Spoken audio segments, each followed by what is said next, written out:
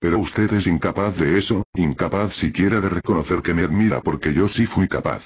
Siente pánico, le tiemblan las piernas ante la mera posibilidad de que digan, ahí está otra vez cercas. Miren sus libros. Primero defendió a un fascista, luego defendió a un asesino, luego defendió a otro fascista, luego defendió a un psicópata. Y ahora defiende a un mentiroso, a un tipo que se burla de millones de muertos. Dígame, ¿cuántas veces le han dicho que se dedica a defender fascistas? Le repito que escribo para gente inteligente. Y yo le repito que también le leen los tontos. Los tontos y los moralistas unidimensionales, como les llamaba su maestro Ferrate. Y hasta los fariseos de los que tuvo la chulería de defender a su amiguito Vargas Llosa. Y tiene miedo de ellos. Vaya si lo tiene. Tiene miedo de que, como usted se dedica a defender mentirosos, ellos sientan que tienen derecho a mentir sobre usted. Y sobre su familia. Y que tienen derecho a sacarle las tripas a usted y a su familia, sobre todo a su familia. Al fin y al cabo, en España no hay nada que le guste tanto a la gente como ver a un tipo sacándole las tripas a otro, ¿verdad? Ya le ha pasado alguna vez, ¿verdad? Pero no solo tiene miedo de eso. Sobre todo tiene miedo de condenarse. Tiene miedo de condenarse contando en este libro mi historia como Truman Capote se condenó contando en la sangre fría la historia de Dick Hickok y Perry Smith. Ah, de eso sí que tiene miedo. Está cagado. Tiene miedo de acabar como Capote, destruido por la maldad, el esnovismo y el alcohol. Tiene miedo de haber pactado con el diablo para poder escribir este libro, y le faltan agallas para pactar sin más y atenerse a las consecuencias, como hizo Capote. Y, ahora que lo pienso, ya sé por qué quiere salvarme. ¿Por qué?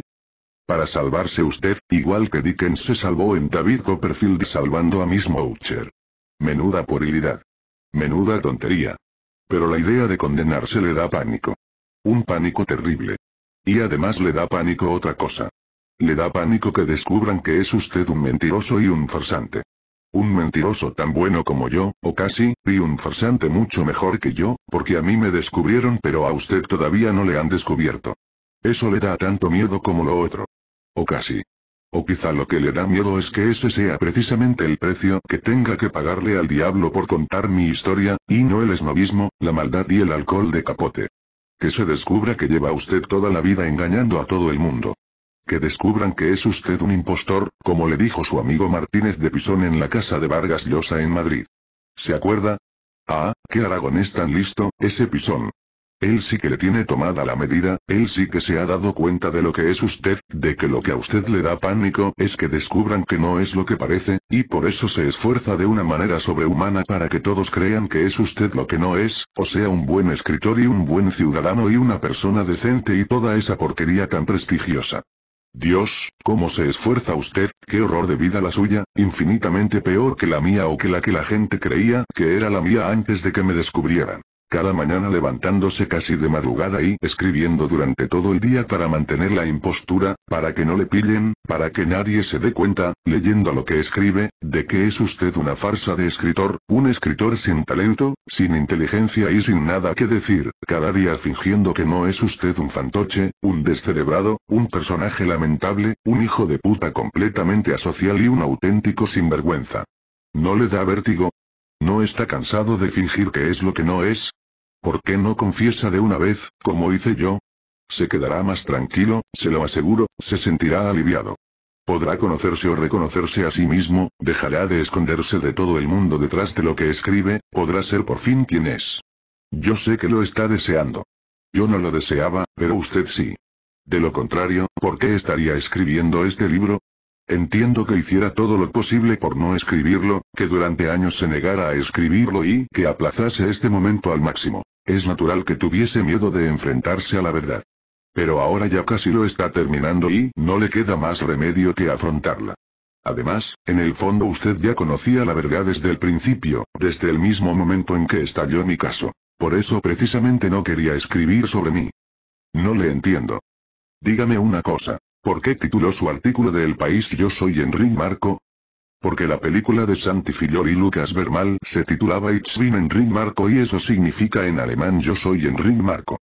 Y una mierda. Lo tituló así porque supo desde el principio que, igual que yo, usted es un farsante y un mentiroso, que tiene todos mis defectos y ninguna de mis virtudes, y que yo soy su reflejo en un sueño, o en un espejo. Y por eso le pido que me defienda, que se olvide de salvarme y me defienda. Porque ni usted ni yo podemos salvarnos, pero defendiéndome se defiende. Esa es la verdad, Javier. La verdad es que usted soy yo. 9. El estallido del caso Marco superó con creces las previsiones más pesimistas del propio Marco. Este, con voluntarioso candor, había previsto quizás un escándalo discreto, reducido al ámbito de los deportados, o al ámbito de los deportados y de los historiadores, como mucho al ámbito catalán. La realidad es que fue un escándalo que resonó en los cinco continentes. Era previsible. Primero porque la impostura era asombrosa, y segundo porque todo cuanto guarda relación con el holocausto posee una dimensión universal. El titular de la noticia, además, no hubiera podido ser más atractivo ni más sencillo y, con todas las variantes de detalle que se quiera, fue unánime. También fue inevitable, veraz y demoledor. El presidente de la Asociación de Deportados Españoles en los campos nazis nunca estuvo en un campo nazi. Pero, aunque la onda expansiva del terremoto mediático alcanzó hasta el último rincón del planeta, su epicentro estuvo en España, sobre todo en Cataluña, donde, como afirmaba un editorial del diario Agui, Marco era un personaje entrañable. Muchos otros periódicos le dedicaron también su editorial, entre ellos algunos de los de mayor tirada. El País, La Vanguardia y El Periódico. Probablemente no hubo en España un solo medio de comunicación que no recogiese la noticia, que no publicase una nota, un reportaje, una entrevista, una declaración o un chiste sobre Marco, ni un solo tertuliano radiofónico o televisivo que no diera su opinión sobre el caso, ni un columnista que no escribiera un artículo sobre él o que no aludiera de una u otra forma a él, ni una sección de cartas al director de un periódico que no le dedicara una carta.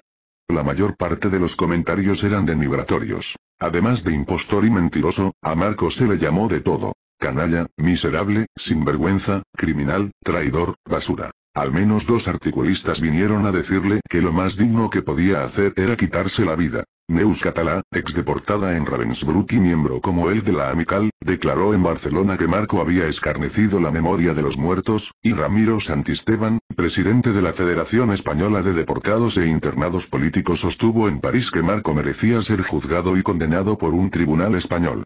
Los antiguos adversarios de Marco en la CNT, que en 25 años no habían olvidado las rencillas provocadas por las luchas internas en el sindicato, desenterraron las viejas acusaciones contra su antiguo secretario general, según las cuales este había sido un colaborador del gobierno o de los aparatos estatales, tal vez un confidente de la policía, tal vez uno de los verdaderos responsables del caso Escala y de la desintegración de la CNT, y algunos periodistas tan jóvenes como sedientos de sangre, que desconocían los odios políticos que causaban aquellas injurias, se lanzaron tras esa pista sensacional, intentando desenmascarar precisamente el único o casi el único pasado de Marco en el que no había nada que desenmascarar. En resumen, durante aquellos días explosivos Marco consiguió salir en la foto mucho más de lo que nunca había imaginado, aunque no por los motivos que había imaginado.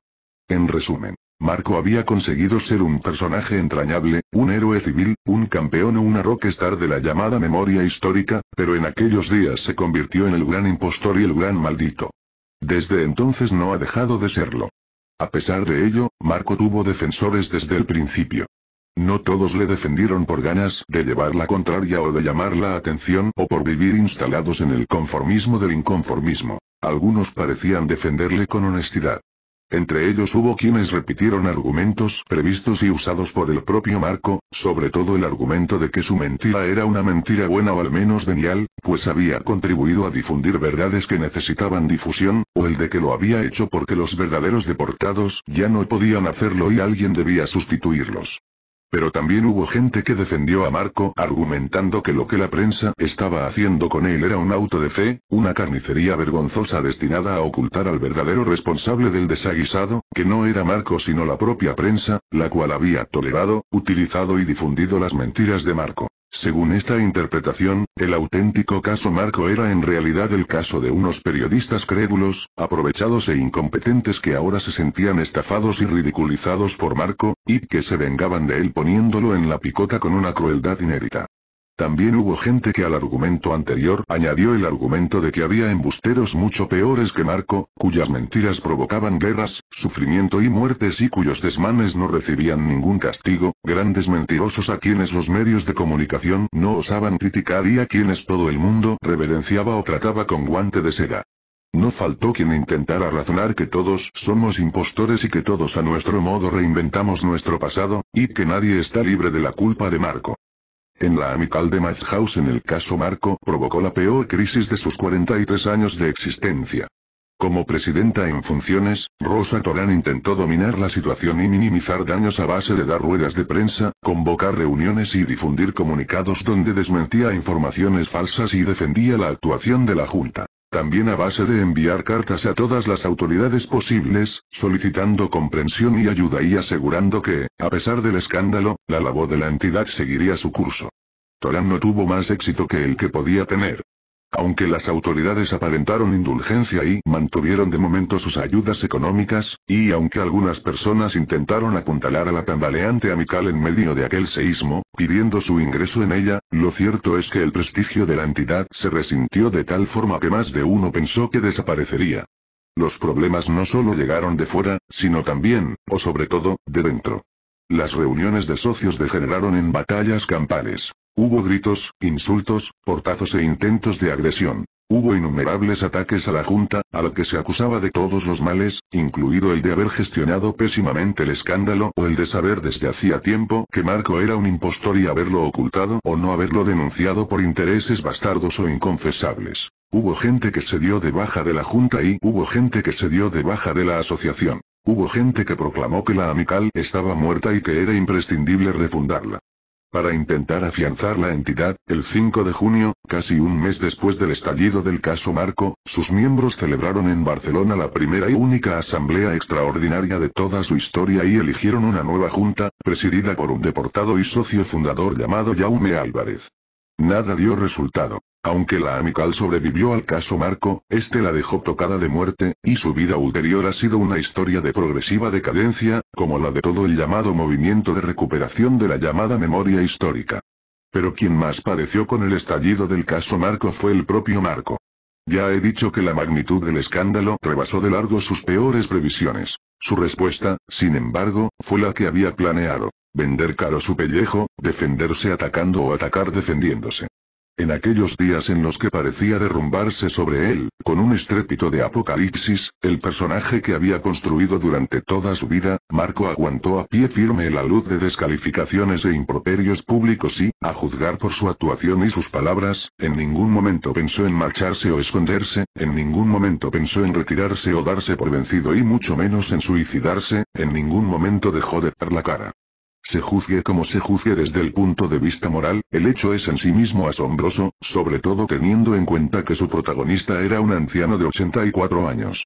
No puede por menos de asombrar, en efecto, que, en vez de encerrarse para siempre en su casa o exiliarse en un iglú de Laponia o simplemente pegarse un tiro, Marco concediese innumerables entrevistas de prensa, radio y televisión, entrevistas donde fue acusado en innumerables ocasiones de mentiroso e impostor y donde fue vapuleado hasta la extenuación. Todo esto tuvo un efecto multiplicador sobre el caso, que así adquiría una magnitud cada vez mayor, pero eso a Marco parecía traerle sin cuidado. Cabría conjeturar que la mediopatía de Marco experimentaba un regocijo secreto con esta hiperexposición a los medios. Puede ser, pero lo que es seguro es que se le humilló y se le ultrajó hasta límites insoportables, y que su orgullo recibió un golpe al que es increíble que no sucumbiera. Es increíble pero así fue. Marco no eludió un solo encuentro con un solo periodista. En todos ellos repitió con variantes el puñado de razonamientos que había urdido o esbozado en las jornadas previas al escándalo y que luego, poco a poco, a medida que pasaban los días, fue enriqueciendo, puliendo y mejorando, incorporando nuevos argumentos y perfeccionando los viejos. Había entrevistas en que Marco parecía arrepentirse y otras en que parecía no arrepentirse. En la mayoría parecía arrepentirse y no arrepentirse a la vez. En algunas de las primeras que le hicieron, pienso en una realizada el mismo día del estallido del caso, en la televisión pública catalana, por Josep Cuní, uno de los periodistas más influyentes del país, Marco se mostró por momentos nervioso e indignado, casi al borde de las lágrimas. Poco a poco, no obstante, fue asentándose y recobró el dominio de sí mismo. Poco a poco, sin abandonar sus tesis habituales, no había mentido sino que solo había alterado la verdad, suponiendo que fuera una mentira la suya. Era una buena mentira, una mentira noble, hubiera podido decir con Platón, una mentira oficiosa, hubiera podido alegar con Montaigne, una mentira salvadora o vital, hubiera podido disculparse con Nietzsche, gracias a ella había dado a conocer sobre todo entre los jóvenes los horrores del siglo XX y había dado voz a los que no tenían voz, él había sido un prisionero en las cárceles nazis como los deportados lo habían sido en los campos nazis y por tanto estaba legitimado para hablar en su nombre, etc., empezó a presentarse, tal vez influido por algunos de sus defensores, como una víctima. Una víctima de periodistas despechados y rencorosos, una víctima de la incomprensión y el olvido de sus méritos de héroe civil y campeón o rockstar de la memoria histórica, una víctima de la intransigencia, la ignorancia y la ingratitud generales, una víctima de Benito Bermejo y sus luchas contra la Amical o contra sus compañeros de la Amical, una víctima de la derecha española, harta de la llamada memoria histórica, y una víctima de los judíos del Mossad, hartos de sus denuncias de la situación de los palestinos, una víctima de todo. Esta campaña defensiva, o esta campaña ofensiva disfrazada de campaña defensiva, no fue solo una campaña pública. También fue una campaña privada. En cuanto estalló el caso Marco, pero sobre todo a medida que se iba apagando sueco en los medios de comunicación, nuestro héroe lanzó al mundo una luz de cartas solo comparable a la luz de acusaciones e insultos que estaba recibiendo o había recibido, usando la escritura como la usa cualquier escritor, para defenderse. Marco escribió a la Junta de la Amical, a los socios de la Amical, a políticos municipales, autonómicos y estatales, a periodistas de renombre y a periodistas casi anónimos y a los directores de periódico a quienes había intentado en vano entregar personalmente, justo el día antes de que estallara su caso, el comunicado en el que reconocía su impostura. Escribió a representantes cívicos con los que había tenido alguna relación, a antiguos compañeros de la CNT y de FAPAD, a amigos y conocidos actuales y a amigos y conocidos con quienes llevaba muchos años sin verse, a las universidades, ateneos, hogares de ancianos, centros penitenciarios, escuelas de adultos y asociaciones de todo tipo donde había dado alguna charla. Sobre todo escribió a los innumerables centros de enseñanza secundaria que había frecuentado, en algunos de los cuales, sin duda porque sus intervenciones habían tenido un efecto brutal, tuvo un efecto brutal el descubrimiento de su impostura, hasta el punto de que algunos de los profesores que habían invitado a Marco a sus clases se sintieron obligados a explicarles a sus alumnos que, aunque aquel anciano que tanto les había impresionado y a quien algunos habían visto como un héroe fuera en realidad un farsante, nada de lo que les había contado era una farsa. Las cartas de Marco eran textos torrenciales de disculpa, autodefensa y vindicación personal, a menudo confusísimos, a los que en ocasiones adjuntaba documentos que probaban o debían probar su pasado de resistente antifranquista, como las fotos de su cuerpo tachonado de hematomas, tras ser agredido por la policía el 28 de septiembre de 1979, durante un acto de protesta en favor de los acusados del caso Scala, o como los papeles que parecían demostrar no solo que había sido juzgado por un tribunal nazi, lo que era cierto, sino también que había sido un resistente antimazi, lo que era falso, para lo cual enviaba Marco el escrito de la fiscalía, en el que se le acusaba de alta traición, pero no la sentencia del juez, en la que se quitaba toda importancia a la denuncia y se le acababa absolviendo.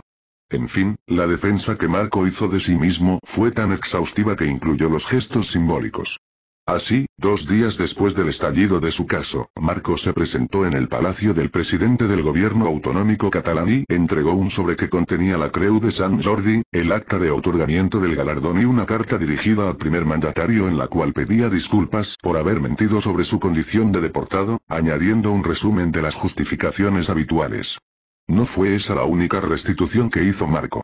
Aunque en aquellos días también se le acusó de enriquecerse con su impostura, nuestro hombre solo había percibido como falso deportado una indemnización de 7.000 euros procedente de un fondo creado en Suiza por las empresas principalmente alemanas que durante la Segunda Guerra Mundial se habían beneficiado del trabajo de los prisioneros nazis. A raíz del escándalo, Marco devolvió ese dinero, pero al cabo de apenas unos meses se lo reintegraron explicando que, aunque no había estado preso en un campo nazi, había sido un trabajador esclavo del nazismo. Todo fue inútil. Marco peleó como si le fuera la vida en ello, porque la verdad es que le iba la vida en ello, pero no sirvió para nada. Estaba abrumado, furioso y perplejo. No podía concebir que no atendieran a sus razones, no podía aceptar que lo condenaran sin más, no toleraba que le hubieran arrebatado su categoría de héroe cívico, de campeón o rockstar de la llamada memoria histórica, de ninguna manera admitía que le despojaran de su personaje y que quisieran obligarle a ser de nuevo Alonso Quijano, y además no Alonso Quijano el bueno sino Alonso Quijano el malo. Y no lo admitía, entre otras razones, o sobre todo, porque él sabía que no era verdad que hubieran acabado con su personaje. Podían haber acabado con su personaje de superviviente de un campo nazi, pero quedaba su personaje de defensor de la República durante la guerra, de víctima de las cárceles nazis y resistente antifranquista durante la posguerra, de líder sindical en la CNT y líder educativo en FAPAC. ¿Todo eso no significaba nada? ¿No era esa la biografía de un héroe civil, aunque no fuera la de un deportado? No bastaba toda una vida de entrega a las causas justas para redimir un pequeño error de su vejez, si es que había sido un error. Tenía la sensación de haber conseguido preservar intacto el castillo de naipes y de que, a pesar de ello, todo el mundo actuaba como si el castillo de naipes se hubiera derrumbado. Fueron meses agónicos, de lucha despiadada, y al final quien se derrumbó fue él. O eso dice. Lo que dice es que, viéndose degradado sin remedio a la categoría de gran impostor y gran maldito, en algún momento se hundió en la depresión. Puede ser. Aunque a mí me cuesta trabajo creerlo, porque un tipo como Marco nunca se hunde en la depresión, o nunca se hunde sin más. Es cierto no obstante que en algún momento pareció dejar la pelea y se refugió en su familia, en su mujer y sus dos hijas. También, a ratos, en algún amigo, aunque Marco es un lobo solitario y nunca ha tenido muchos amigos. Este paréntesis, suponiendo que fuera un paréntesis, duró poco tiempo, y Marco se convirtió enseguida en lo que lo convirtió el estallido de su caso, en lo que era cuando yo le conocí y en lo que, bien pensado, en el fondo ha sido siempre. Además de un gran impostor y un gran maldito, un paladín de sí mismo y un hombre en pie de guerra, entregado a la causa de su propia defensa. No volvió a dar charlas públicas, pero aceptaba todas las ocasiones de explicarse que se le ofrecían, empezando por entrevistas dedicadas a hablar de su propio caso o de casos semejantes al suyo, aunque Marco siempre se las arreglaba para hablar sobre todo de sí mismo y defenderse, sin importarle si solo podía defenderse defendiendo a otro farsante. Acudía a actos públicos donde se encontraba con antiguos compañeros de su etapa en la CNT o de su etapa en FAPAD, gentes que lo habían apreciado o que no lo habían apreciado, que lo habían admirado o que lo habían detestado, a los que había sido indiferente pero que habían seguido sin excepción y con incredulidad o con indignación o con vergüenza ajena las noticias de su escándalo, y que por regla general no le hablaban de él y lo trataban como si no hubiera pasado nada, o que procuraban esquivarlo. Marco intentó también recuperar su trato con la amical. Así, en reiteradas ocasiones pidió por carta una reunión para explicarse, para darles a sus antiguos compañeros su versión del caso Marco, para intentar rehabilitarse ante ellos y vincularse otra vez a la entidad y, cada vez que conseguía nuevos documentos que avalaban su condición de víctima de los nazis, por ejemplo, tras viajar a Alemania para filmar It's Been Ring Marco, la película de Santi Fillol y Lucas Bermal, enviaba copias por correo a la sede de la entidad en la calle Sils como prueba de que su versión de los hechos era correcta y de que no había mentido tanto como la gente pensaba. La amical no contestó ninguna de sus cartas, a pesar de que Marco recurrió a todos los argumentos posibles para que lo readmitieran, incluidos argumentos de pícaro genial y liante único como que sus antiguos compañeros debían ayudarle a recuperar su buen nombre a fin de que nadie pudiera criticarlos por haber permitido que un impostor presidiera la amical. En una ocasión, sin embargo, volvió a reunirse con ellos, o con un buen número de ellos. Fue en el funeral de Antonia García, una de las niñas del llamado Convoy 927 o Convoy de Angulema, un tren lleno de republicanos españoles exiliados que, en junio de 1940, partió desde aquella ciudad francesa hacia el campo de Mauthausen.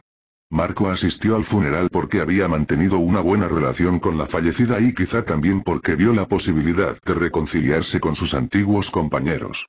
Pero, si era esto último lo que perseguía, no lo consiguió. Aunque algunos le estrecharon la mano y se alegraron o parecieron alegrarse del reencuentro, para muchos miembros de la asociación fue una vergüenza que asistiera al acto, y más de uno evitó saludarle.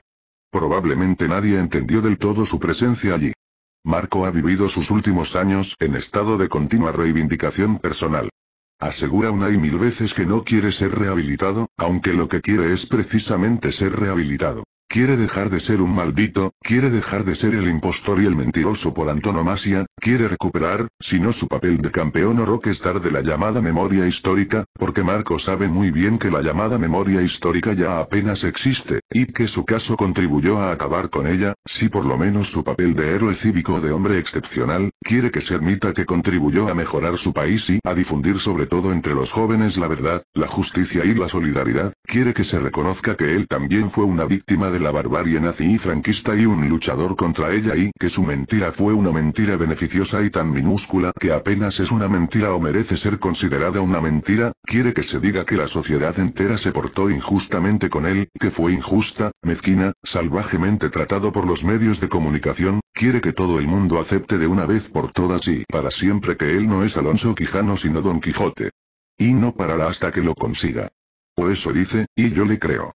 En esta postrera empresa de su vida Marco trabaja solo, siempre que se presenta la ocasión y con los medios que tiene a su alcance, que son su oratoria y sus habilidades de pícaro, seductor y liante, cosas todas ellas que, a pesar de que sus 93 años de edad hayan mermado su energía, siguen casi intactas. En ocasiones también trabaja con otros, o intenta hacerlo, porque no desdeña la ayuda de nadie y porque es consciente de que ha perdido todo su crédito y tiene que intentar aprovecharse del crédito de los demás, aunque los demás no sepan que lo está intentando, o sobre todo si no lo saben.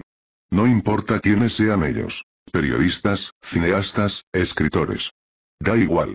Lo importante es que tengan audiencia y que le permitan salir en la foto y sobre todo que consiga que le defiendan, que reivindiquen su causa.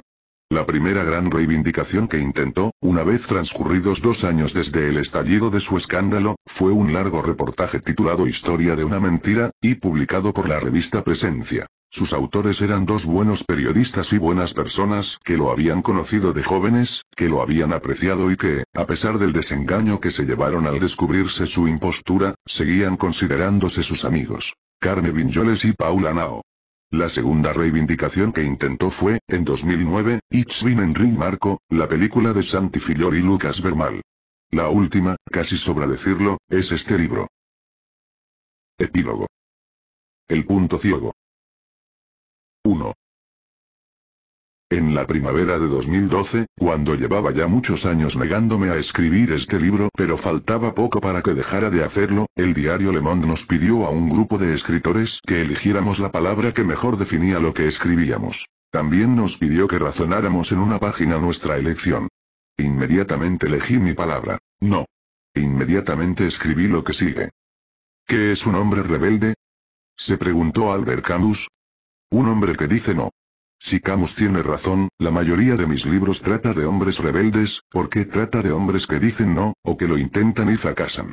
Esto, en algunos de mis libros, no es muy visible. En otros resulta imposible no verlo. Soldados de Salamina gira en torno al gesto de un soldado republicano que al final de la guerra civil española debe matar a un jerarca fascista y decide no matarlo. Anatomía de un instante gira en torno al gesto de un político que, al principio de la actual democracia española, se niega a tirarse al suelo cuando los últimos golpistas del franquismo se lo exigen a tiros. Las palabras de Dante, infierno, tercero, 60, que sirven de epígrafe a Anatomía de un instante, podrían quizás servir de epígrafe a la mayoría de mis libros. Coluiche Fece. Y el gran rifiuto. Aquel que dijo el gran no. Dante se refería al Papa Celestino V, que renunció al papado, pero siglos más tarde Constantin Cavafis entendió que podía referirse a todos los hombres. A cada uno le llega el día, escribe Cavafis, de pronunciar el gran sí o el gran no. De eso trata la mayoría de mis libros. Del día del gran no, o el gran sí. Es decir, del día en que uno sabe para siempre quién es. Y en este libro, ¿Qué pasa con este libro que durante tantos años no quise escribir y ya estoy terminando de escribir? No hay en este libro nadie que diga no, o que lo intente y fracase. Es solo la historia de un hombre que siempre dice sí, de un hombre que siempre está con la mayoría y en medio de la muchedumbre, un hombre que no es nadie o que al menos nunca conoce el día en el que sabe para siempre quién es, en sus charlas y declaraciones públicas, Marco aseguraba con énfasis que los héroes no existen, pero ya sabemos lo que pasa con los énfasis, y sobre todo con los énfasis de Marco, y también sabemos ya que, al decir que no existen los héroes, lo que Marco quería decir es que el héroe era él. Ahora bien, no hay en este libro que habla de un falso héroe ningún héroe de verdad. Claro que lo hay. Todos sabemos que siempre hay hombres capaces de decir no. Son poquísimos, y además los olvidamos o los ocultamos enseguida, para que su no estrepitoso no delate el silencioso sí de los demás. Pero todos sabemos que los hay. Ahí están, en este libro, Fernández Vallet y sus compañeros de la UJA, ese puñado de chavales del extrarradio barcelonés que a principios de 1939, cuando los franquistas ya habían entrado en la ciudad y la guerra estaba perdida y todo el mundo dijo sí, dijeron no, no se conformaron, no dieron su brazo a torcer, no se resignaron al oprobio, la indecencia y la humillación común de la derrota, y de esa forma supieron para siempre quiénes eran. Ahí están. Aquí están, por última vez, tras más de 70 años de ocultación y olvido. Honor a los valientes. Pedro Gómez Segado, Miquel Colás Tamborero, Julia Romera Yáñez, Joaquín Miguel Montes, Juan Ballesteros Román, Julio Meroño Martínez, Joaquín Campén Puello, Manuel Campén Puello, Fernando Villanueva, Manuel Abad Lara, Vicente Abad Lara, José González Catalán, Bernabé García Valero, Jesús Cárceres Tomás, Antonio Beltrán Gómez, Enrique Vilella Trepat, Ernesto Sánchez Montes, Andreu Prats Mallarín, Antonio Asensio Forza, Miquel Planas Mateo y Antonio Fernández Vallet. ¿Quién más? ¿Hay alguien más que haya dicho no en este libro? Por supuesto, Benito Bermejo. El malvado secreto de esta historia es en realidad su héroe secreto, o uno de sus héroes. Aunque la palabra héroe, quizás es inexacta. Más que un héroe, Bermejo es un justo. Uno de esos hombres que hacen su trabajo en silencio, con modestia, probidad y testarudez, uno de esos tipos a quienes, llegado el momento decisivo, su sentido del deber infunde valor suficiente para decir no, si es necesario metiendo el dedo en el ojo y convirtiéndose en aguafiestas, como hizo Bermejo denunciando a Marco en plena fúnebre fiesta de la memoria, con la fúnebre industria de la memoria funcionando a pleno rendimiento. ¿Alguien más?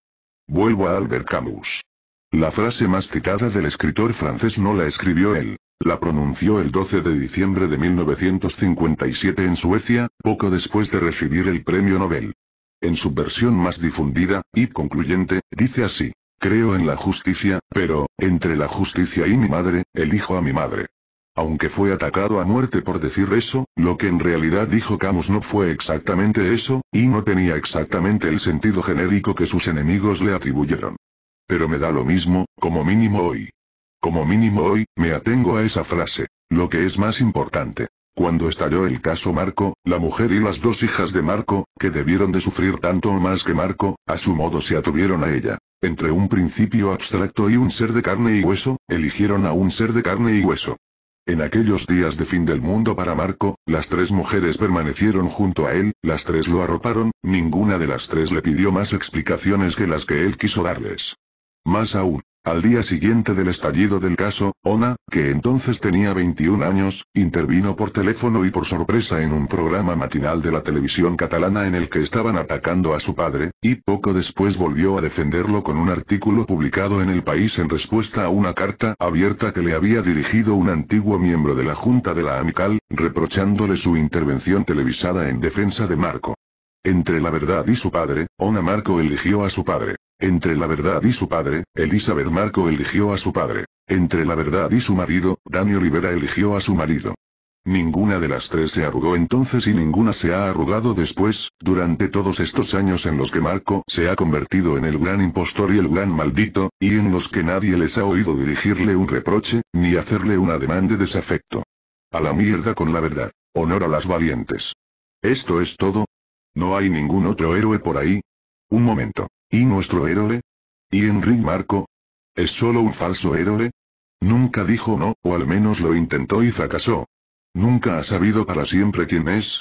No se puede ser al mismo tiempo un falso héroe y un héroe verdadero, un héroe y un villano, igual que Don Quijote es al mismo tiempo ridículo y heroico, o está loco y cuerdo a la vez.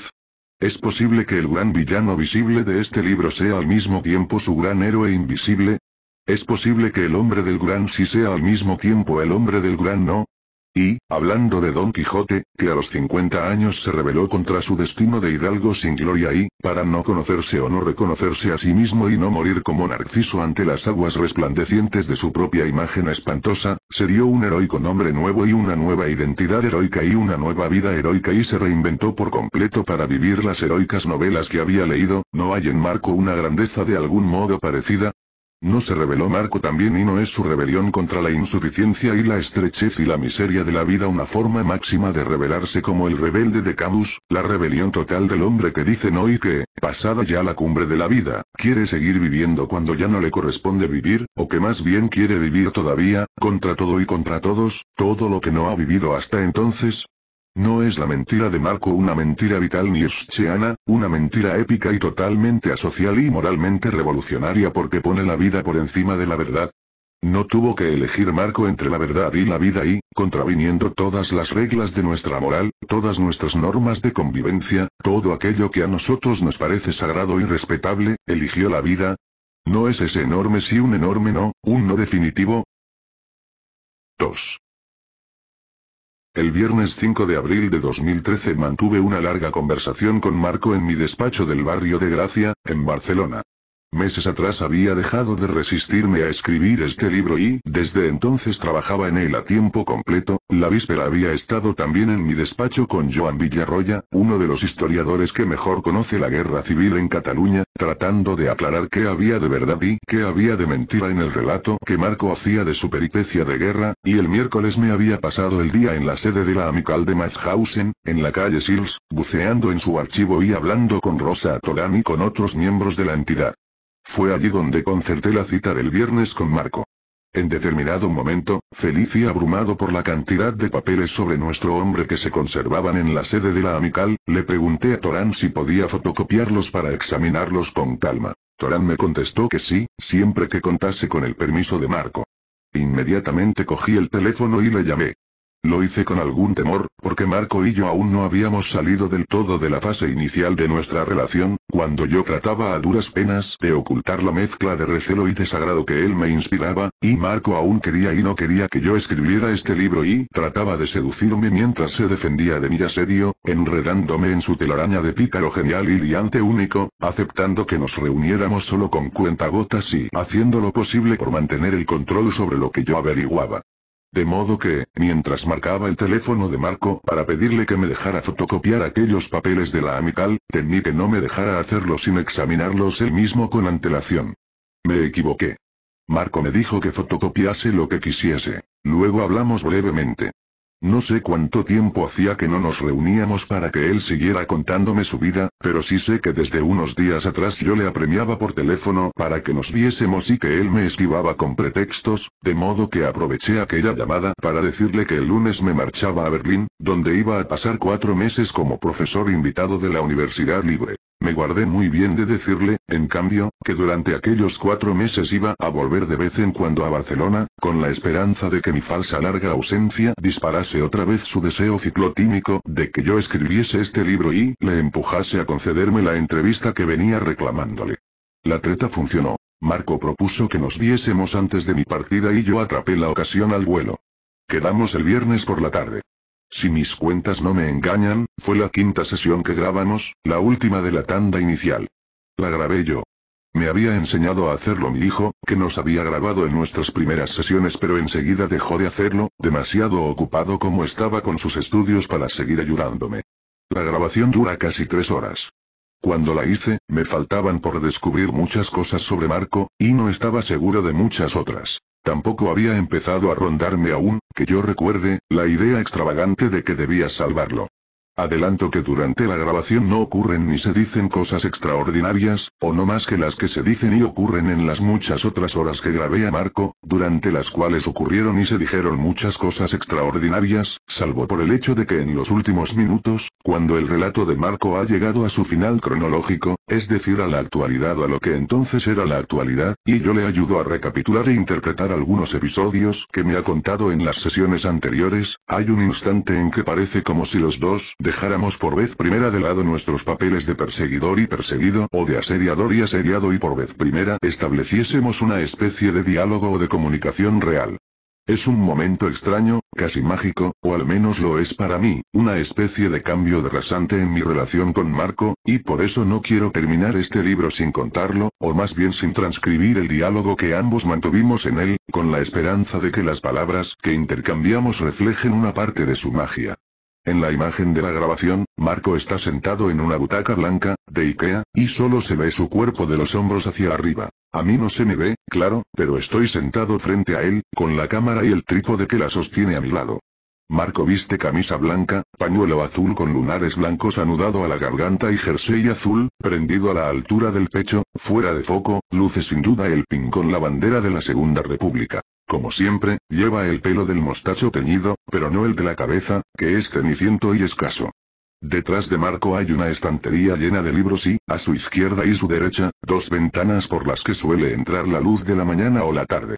En el momento del que hablo, sin embargo, la luz natural se ha agotado y hemos prendido las luces artificiales de la estancia. A la derecha de Marco se levanta también una lámpara de pie, encendida.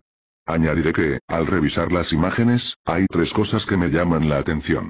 La primera es el aire de fatiga de Marco, lógico en cualquier persona que, como él, llevase tres horas hablando sin parar, pero menos lógico en Marco. Ahora se me ocurre que quizás esa fatiga no solo explica el hecho de que Marco me deje hablar más de lo normal, sino también, al menos en parte, la atmósfera de rara complicidad o acuerdo en que parece envuelta la escena, la sensación que en aquel momento tuve de que Marco por fin se quitaba la máscara y mostraba su rostro auténtico.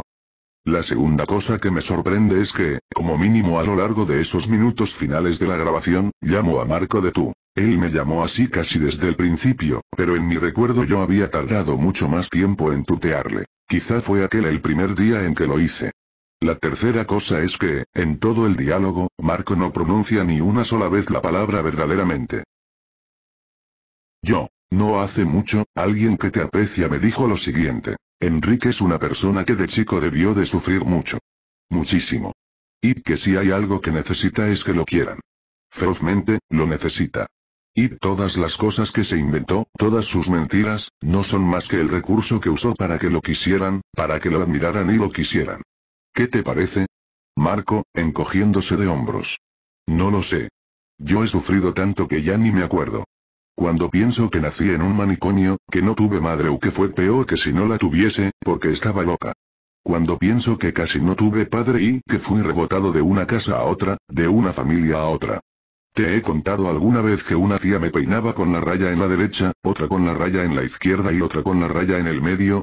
No te puedes imaginar la rabia que me daba eso. ¿Tú te acuerdas del tacto de la mano de tu padre cuando eras pequeño? Yo no.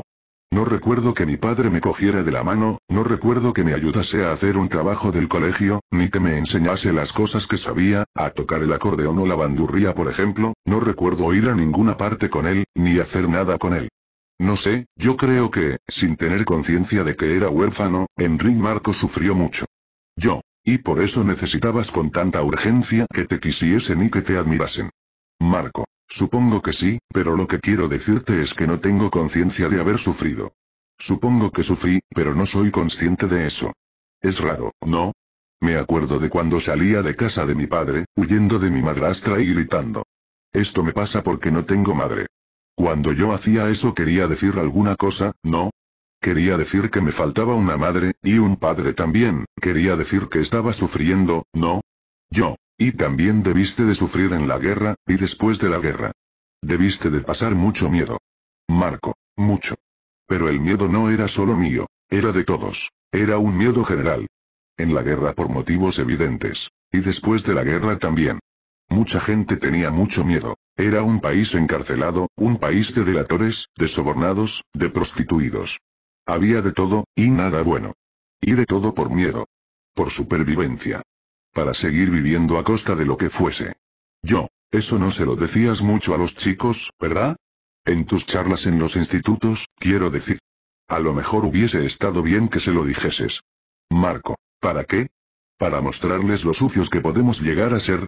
¿Qué iban a aprender con eso?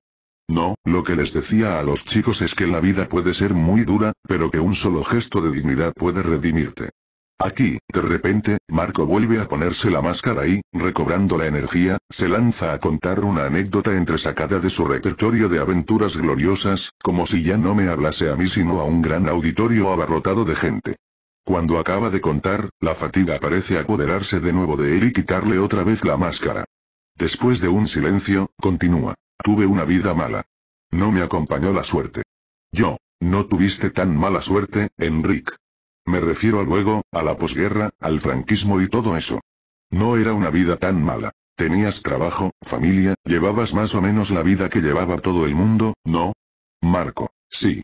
Supongo que sí. Yo, hasta que murió Franco y llegó la libertad. Entonces debiste de pensar. Joder, esto es la vida. Marco, incorporándose en la butaca y recobrando la energía pero sin recobrar la máscara, sonriendo con extraño entusiasmo, con los ojos brillantes y la boca abierta, y haciendo un gesto extraño con los brazos, rápido, furioso y festivo, mientras se vuelve a recostar en la butaca. Acabamos con todo. Hasta con el agua mineral. ¡Qué enorme alegría! ¡Qué cosa tan grande! Yo. Y entonces empezaste a inventarte tu pasado. Marco. Y sí, yo supongo que sí. Prácticamente me sentí obligado, aquella gente que había a mi alrededor me obligaba, todos aquellos chicos de familias ricas. Yo, ¿te refieres a Salsas y a Boada, a Ignacio de Gispert? Marco, claro. Yo, entiendo. Te obligaban. Te admiraban. Te veían como un héroe. Marco, exacto. Yo no quería ser un héroe, pero sí quería que me quisiesen, como tú dices. Que me quisiesen y que me admirasen. Y me admiraban y me querían, ya lo creo. Las chicas se enamoraban de mí.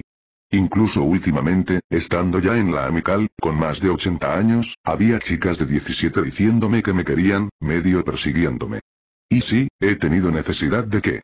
Yo, de que te quieran y de que te admiren. Marco, sí.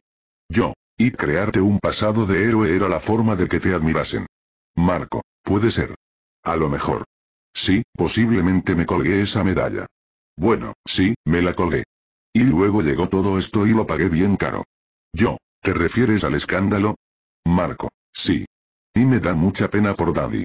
Marco cambia de expresión y de repente suelta una risa breve. ¿Sabías que el gobierno francés iba a darme la Legión de Honor? Yo, no. Marco, estaban a punto de dármela. Hasta tenían escrito el informe. Menos mal que no me la dieron. Pero a Dami, tan francesa ella, seguro que le hubiese hecho ilusión, y me hubiese admirado todavía más. No pudo ser. No fui capaz de darle eso. Yo le he dado muchas cosas, todo lo que he podido, tú lo sabes, pero parece que no he hecho las paces. Yo, ¿no has hecho las paces? Marco, yo creo que no. Yo, ¿con ella? Marco, eso es. No digo que ella no esté contenta, lo que digo es que todo esto mío debió de hacerle sufrir muchísimo. Tanto como a tus hijas. Marco, más o menos. Yo, ¿ves cómo has tenido suerte, Enrique? Por lo menos en algunas cosas. Con tu mujer y con tus hijas, por ejemplo, has tenido mucha suerte. Marco, sí. Aunque no he hecho las paces con ellas. Yo, ¿y contigo? Marco, tampoco. Por eso estamos aquí, hablando, ¿no? Pero, claro, supongo que he sido un personaje un poco raro, ¿no? Con una vida un poco rara. Me han pasado tantas cosas. Aquí hace un largo silencio. Marco no me mira a mí ni a la cámara, sino a un punto situado frente a él. Parece abstraído, como si estuviera a punto de descubrir o recordar algo fundamental, algo que lo cambia todo o que puede cambiar del todo mi opinión sobre él, o como si de repente hubiera dejado de interesarle la conversación. Al final vuelvo a hablar yo. Yo, Enrique, dime una cosa. Entonces la primera vez que notaste que la gente te admiraba por tu pasado fue a finales de los 60, cuando conociste a Salsas y Boada y de Gispert y empezaste a frecuentar a los jóvenes más o menos antifranquistas que iban a su academia, ¿no? Marco, sí, son los primeros admiradores que tuve. Yo. Y luego, cuando muere Franco y llega a la libertad y el anarquismo se convierte en la moda del momento y tú eres un líder anarquista y te ves rodeado de todos aquellos chavales anarquistas. En fin, allí debían de admirarte todavía más, todos esos chicos y chicas partidarios del amor libre y de la juerga permanente debían de quererte muchísimo, ahí debiste de triunfar totalmente. Marco, totalmente. Yo, allí notas que te quieren por tu pasado, que un pasado de militante antifranquista y de luchador clandestino y de combatiente republicano y de víctima de los nazis hace que todos esos chicos se vuelvan locos por ti. Marco, Claro, es que yo soy el mayor de ellos, soy el viejo anarquista aunque todavía sea joven, soy el excombatiente republicano y el soldado que hizo la guerra aunque también sea uno de ellos. Soy todas esas cosas. Yo, y a ellos les encantan. Te quieren por ellas, por tu pasado. Hasta tu mujer te quiere por tu pasado, tu pasado le impresiona. Marco, bueno, no lo sé. Ella me conoce y... Yo, No hablo de ahora, hablo de entonces. ¿No te quería Dani por tu pasado? ¿No la enamoraste con tu pasado? ¿No era parte de tu atractivo para ella? ¿No decías que te admiraba? Yo enamoré a mi mujer haciéndole creer que era escritor y al final tuve que hacerme escritor para que se quedase conmigo. Marco. Sí, puede ser. Puede que para Dani eso no fuera una cosa más, puede que fuera importante. Ella era una chica de izquierdas, antifranquista, su madre había estado en la resistencia francesa. Yo. Para ella tú también eras un héroe. Por eso la enamoraste. Marco. Sí, puede ser. Ya sé por dónde vas, y a lo mejor tienes razón. Puede ser. Aquí vuelve a abrir otro silencio, aunque más corto que el anterior. Parece simplemente buscar por dónde seguir, o cómo evitar que yo siga por donde voy.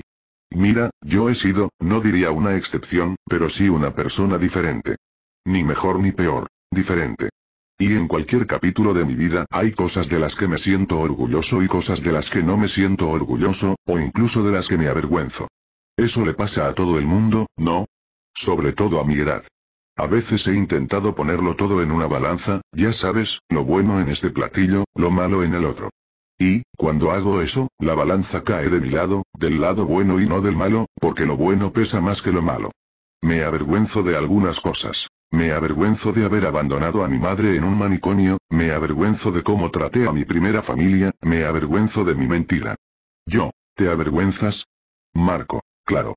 Me arrepiento de lo que hice. No tenía por qué haberlo hecho, no sé por qué lo hice. Yo, lo hiciste para que te quisieran. Para que te admiraran.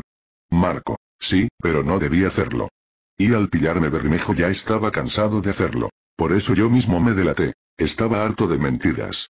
Cuando Bermejo descubrió que había ido a Alemania como trabajador voluntario, yo hubiera podido decir, sí, es verdad, pero demostrad que no estuve en un campo de concentración, demostrad que no estuve en Flossenburg. No hubiesen podido, ni Bermejo ni nadie. Pero no lo hice. Estaba cansado de tanta mentira y quería decir la verdad. Por eso me delaté.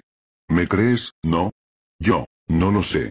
Marco, pues créeme, por una vez deberías creerme. Aunque a estas alturas me da igual.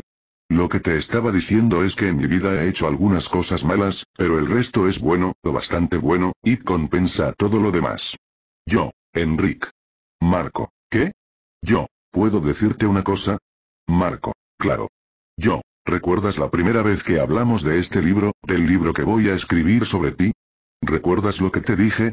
Te dije que yo no quería rehabilitarte, ni absolverte ni condenarte, que ese no es mi trabajo ni el trabajo de un escritor, tal y como yo lo entiendo. ¿Sabes cuál es mi trabajo? Entenderte. En este punto, una gran sonrisa ilumina la cara de Marco, y él murmura, aliviado, alargando mucho la E. Bueno. No te confundas, Enrique. Entenderte no es justificarte. Entenderte es solo entenderte. Nada más. Marco asiente varias veces, despacio. Pero ¿sabes una cosa? Me parece que empiezo a entenderte. Marco, incorporándose un poco en la butaca y levantando los brazos sin dejar de asentir. Mira, tengo que decirte una cosa. Si tu objetivo era entenderme, el mío era explicarme. Y tenemos que ir despacio, porque todavía tengo que explicarte muchas cosas. No podemos precipitarnos. Yo, no vamos a precipitarnos. No tenemos ninguna prisa. Yo por lo menos no la tengo. Marco, ni yo tampoco. Mi biografía es muy complicada. A lo mejor debería escribirla yo. Mis hijas me dicen, no vayas más con cercas. Escribe tú mismo tus memorias. Yo, tus hijas no quieren que hables conmigo. Marco, no. Y Dani tampoco. Pero eso es porque no te conocen.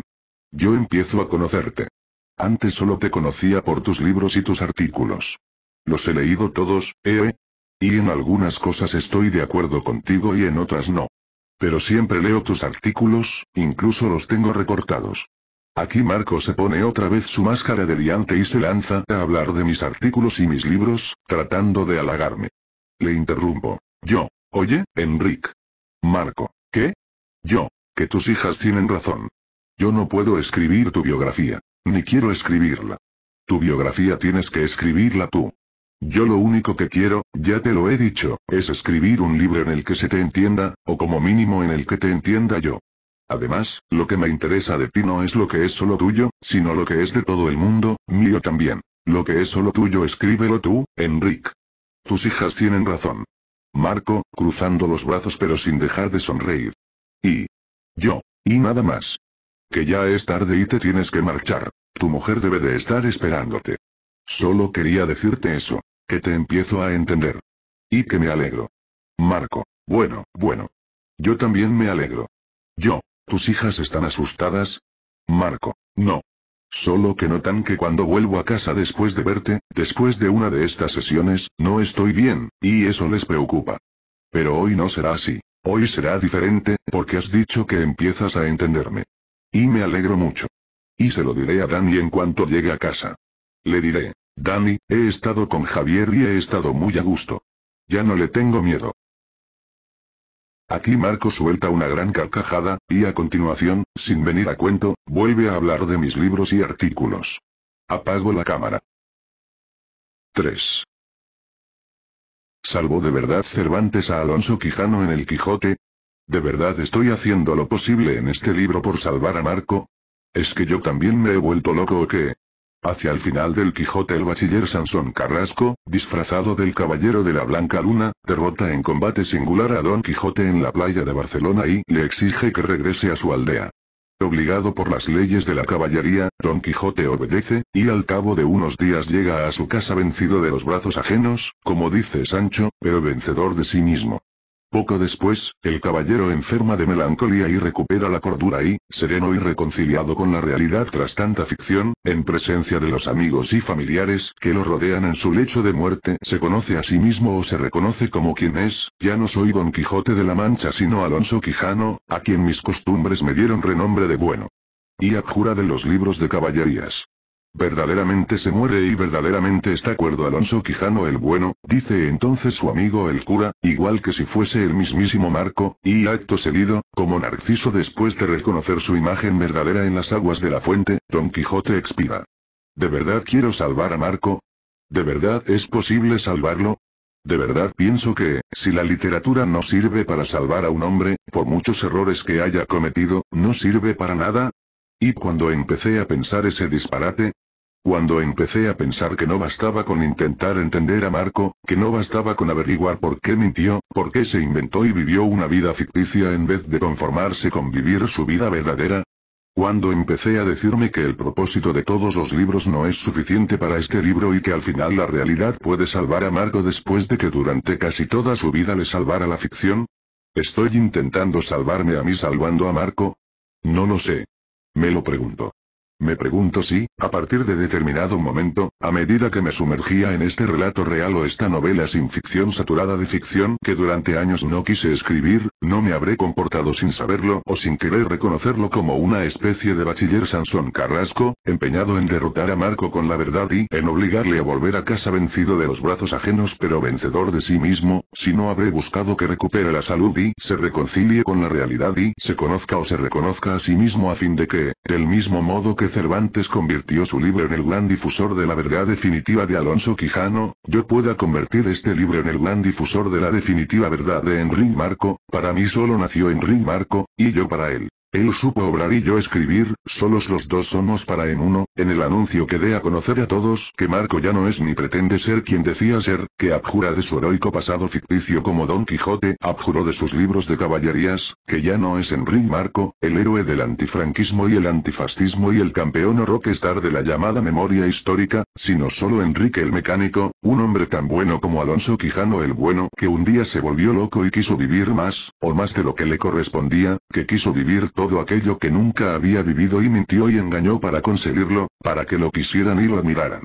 Y me pregunto también si, a partir del momento en que concebí ese propósito insensato, no pensé o intuí que entonces, cuando Marco por fin se reconociera como quien es en las aguas resplandecientes de este libro, moriría como muere Narciso, pero moriría cuerdo y sereno y reconciliado, igual que muere Alonso Quijano.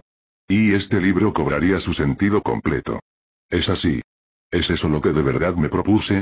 ¿Y no es un disparate? ¿No es una forma de intentar escribir un libro todavía más imposible que el que me propuse escribir? ¿Puede un libro reconciliar a un hombre con la realidad y consigo mismo? ¿Puede la literatura salvar a alguien o es tan impotente y tan inútil como todo lo demás y la idea de que un libro pueda salvarnos es ridícula y trasnochada? ¿Salvó Cervantes a Alonso Quijano y salvándolo se salvó él? ¿Quiero yo salvarme a mí salvando a Enrique Marco? De acuerdo. Todos estos interrogantes son ridículos, trasnochados e insensatos, y el solo hecho de formularlos debería avergonzarme. Y me avergüenza. Pero, ¿para qué mentir? Al mismo tiempo no me avergüenza. No me avergüenza en absoluto. Porque, aquí y ahora, no veo una forma mejor de decir no. No a todo. No a todos. No, sobre todo, a las limitaciones de la literatura, a su miserable impotencia y su inutilidad. Porque sí, lo pienso. Si la literatura sirve para salvar a un hombre, honor a la literatura. Si la literatura solo sirve de adorno, a la mierda con la literatura. Eso me digo que, aunque solo existiera una millonésima posibilidad de una millonésima posibilidad de que mis interrogantes no fueran insensatos, trasnochados y ridículos, y de que lo imposible se convirtiera en posible, merecería la pena intentarlo. También me digo que, a estas alturas, solo hay una forma de averiguar si se salvará Marco, si me salvaré yo, y es terminando de contar la verdad sobre él, desenmascarándolo del todo como Cervantes desenmascaró del todo a Don Quijote. O sea, terminando de contar su historia. O sea, terminando de escribir este libro. 4. A mediados de abril de 2013, dos semanas después de la entrevista con Marco en mi despacho del barrio de Gracia durante la cual tuve el sentimiento de que nuestro hombre se quitaba la máscara y de que la relación entre ambos cambiaba, comí con Santi Fillol en el Salambó, un restaurante cercano a mi despacho. No nos veíamos desde hacía cuatro años, cuando por segunda vez quise escribir este libro y me puse en contacto con él, que acababa de filmar su película sobre Marco, y él me acompañó hasta Sant Cugat a conocer a nuestro hombre. En aquel intervalo apenas nos habíamos escrito algún correo electrónico, pero, a finales de 2012 o principios de 2013, Santi fue una de las primeras personas que conoció mi decisión sin vuelta atrás de escribir este libro o de dejar de resistirme a hacerlo. A partir de entonces había intentado en vano verle, para hablar sobre Marco y para que me prestase la documentación o parte de la documentación que Lucas Bermal y él habían reunido con el fin de rodar Itzvin en Ring Marco. Según mi agenda, la cita fue el jueves 18, a las 2 y cuarto de la tarde. Para entonces yo ya llevaba casi dos semanas viviendo en Berlín como profesor invitado en la Universidad Libre, y aquel día regresaba a Barcelona para promocionar Las leyes de la frontera, una novela con ficción publicada el año anterior. El vuelo de Berlín había aterrizado en Barcelona a la una y media, lo que me permitió llegar justo a tiempo a la cita. Venía sediento y, apenas me senté en la planta baja del Salambó, de cara a la entrada de la calle Torrijos, conseguí atraer la atención de una camarera joven, de rasgos orientales, y pedirle una cerveza. No habían transcurrido más que unos minutos desde mi llegada cuando vi aparecer a Santi por la puerta, con su aire de intelectual, sus gafas de intelectual y su barba descuidada, cargado con una bolsa de plástico. Le hice un signo, me vio, vino hasta mí, nos saludamos. La camarera me sirvió en aquel momento mi cerveza, y Santi aprovechó para pedir otra mientras dejaba en el suelo su bolsa, junto a la mesa. No recuerdo de qué hablamos al principio, porque yo estaba impaciente por hablar sobre Marco y todo lo demás me importaba poco. Vagamente recuerdo que Santi me contó que había pasado una temporada fuera de Barcelona, tal vez en Buenos Aires, tal vez rodando una película. Vagamente recuerdo que le expliqué en qué parte de Berlín estaba viviendo, y que le hablé de mis clases. La camarera llegó con la cerveza de Santi y aprovechó para tomar nota de lo que queríamos comer. Una vez que se hubo marchado, Santi preguntó. Bueno, parece que por fin te decidiste a escribir sobre Enrique, ¿no es cierto? Sí, contesté. Ya sabía que acabarías cediendo, dijo. Y apuesto a que Enrique lo sabía también. ¿Te acuerdas de lo que te dijo el día que almorzamos con él en Sant Cugat? ¿A qué te refieres? Claro, Javier, recitó, imitando la voz de Marco, yo siempre he sabido que era un personaje tuyo. Santi se rió. Yo estaba atónito. ¿De verdad dijo eso? Pregunté. Tan verdad como que ahora este día y estamos en el Salambó, contestó. Es increíble. No me acordaba. ¿Cómo te vas a acordar? Con el cabreo que te agarraste, che. Parecía que el pobre Enrique te hubiese hecho algo. Se me cruzaron los cables, me disculpé, Supongo que no era el momento adecuado para escribir sobre él. Mi padre acababa de morir, mi madre estaba mal, yo también estaba mal. Me parece que tuve miedo. Me dijiste que estabas harto de realidad, que necesitabas ficción. Y tú me dijiste que Enrique era pura ficción. Y era verdad. Por eso voy a escribir sobre él. La camarera nos sirvió el primer plato. Sin hacerle caso, Santi se agachó, cogió la bolsa que había dejado junto a la mesa y me la alargó. He estado pensando qué es lo que te podía traer, dijo, mientras yo abría la bolsa. Y he llegado a la conclusión de que lo mejor que puedo darte es eso. Dentro de la bolsa había un disco duro de ordenador y una disquetera llena de DVDs. ¿Qué es? Pregunté. Todo el material que rodamos para la película, contestó. 70, 80 horas de Enrique Marco. Quizá más, ya no me acuerdo. Toneladas de Enrique Marco en bruto. Ahí está todo. Bueno, contame ahora de tu libro. Mientras comíamos le hablé de mi libro. Me escuchó con atención, como si su película no le hubiese saturado de Marco, como si estuviese buscando una excusa para volver a filmarlo. Le expliqué que estaba intentando reconstruir la vida verdadera de Marco desde el principio hasta el final, desde su nacimiento hasta el estallido de su caso o hasta después del estallido de su caso. Le hablé de las largas sesiones que habíamos grabado en mi despacho, de las pesquisas que estaba llevando a cabo y de las personas con las que estaba hablando para verificar si lo que Marco decía era cierto o no. Le dije que Marco parecía querer y no querer que yo escribiera el libro, y que su mujer y sus hijas no querían que lo escribiera. Es lo que al principio nos decía también a nosotros, me interrumpió Santi. Que si Dani no quiere que hagamos la película, que si las niñas tampoco. Boludeces. Enrique hace lo que le da la gana. Lo que digan su mujer y sus hijas le trae sin cuidado. En realidad, eso es solo una forma de seducirte. En realidad lo que te está diciendo es, eres tan listo que me vas a calar. Y, como eres tan listo, mi mujer y mis hijas te temen. Y yo también. Pero es mentira. Enrique no nos tenía ningún miedo, y no creo que te lo tenga a ti.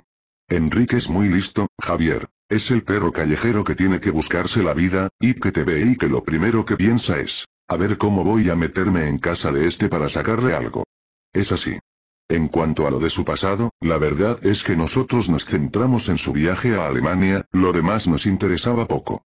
Ahora, si quieres que te diga cuál es mi impresión, te la digo. Mi impresión es que, en Enrique, todo es mentira. Lo de su infancia, lo de la guerra, lo de la posguerra, lo de la clandestinidad. Todo. Es posible, dije.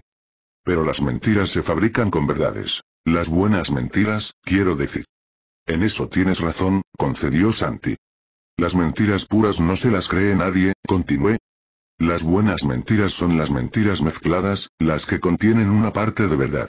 Y las mentiras de Marco eran buenas. Y eso es lo que estoy intentando sacar en claro. ¿Qué hay de mentira y qué hay de verdad en sus mentiras? Te vas a dar un buen hartón de trabajar, pronosticó Santi. Pero seguro que merece la pena. Enrique siempre merece la pena. Es un yacimiento que nunca se agota. Nosotros no nos metimos con el Enrique de la guerra y la posguerra, con el Enrique del franquismo, aunque durante el rodaje estuvimos tantas horas con él que al final te hacías una idea. Y te aseguro que la idea que te hacías no era que había sido un resistente, alguien que hubiera estado en la clandestinidad ni nada parecido, sino que había sido un vividor, un pillo que, si podía, la pasaba en grande, con chicas y dinero y mucha vida nocturna. En aquel momento la camarera nos retiró el primer plato. Mientras lo hacía, Santi dijo. ¿Te fijaste en cómo le gustan las mujeres a Enrique? Yo nunca estuve con él en un café sin que piropease a la moza. Si estuviera aquí, ya le habría dicho dos o tres cosas a esta mina tan linda. La camarera sonrió sin ruborizarse, quizás sin entender, y se marchó en silencio. Le pedí a Santi que me hablara del rodaje de It's Been Enrique Marco, de sus muchos días de convivencia con Marco, en Barcelona pero sobre todo de viaje en coche desde Barcelona hasta Kiel, desde Kiel hasta Flossenburg y luego de vuelta a Barcelona. ¿Estuviste ya en Flossenburg? Preguntó. No, contesté. Pues merece la pena. De toda la película, a mí la parte que más me gusta es la que rodamos en Flossenburg. Allá fue donde Enrique dio más juego. Nunca había vivido en el campo, pero estaba como en su casa. Mucho más que en Kiel, donde había vivido de verdad. ¿Cómo es lo de Pessoa? El poeta es un fingidor. Finge tan completamente, que hasta finge que es dolor, el dolor que de verdad siente. Eso es Enrique, un poeta. Santi se puso entonces a contar anécdotas del rodaje de la película. Contó por ejemplo que en Flossenburg habían estado con el director del memorial, a quien Marco conocía desde su primera visita al campo, y que el director aceptó darle la mano a Marco pero no aceptó las razones con que intentó disculpar su impostura.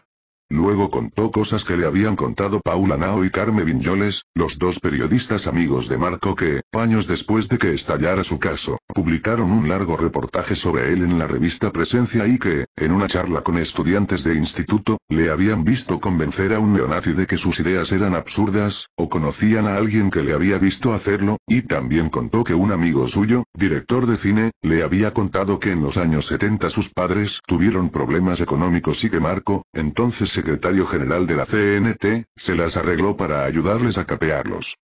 Ese también es Enrique, dijo Santi.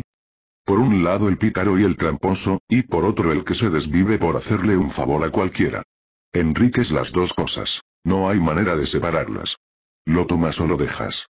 Fue solo entonces cuando me animé a hablarle a Santi de la última reunión que había mantenido con Marco en mi despacho, poco antes de marcharme a Berlín, o más bien de aquel momento casi mágico en que me había ganado la impresión de que Marco se quitaba la máscara, o de que se le caía, y de que yo le contemplaba como era en realidad y empezaba por fin a entenderle.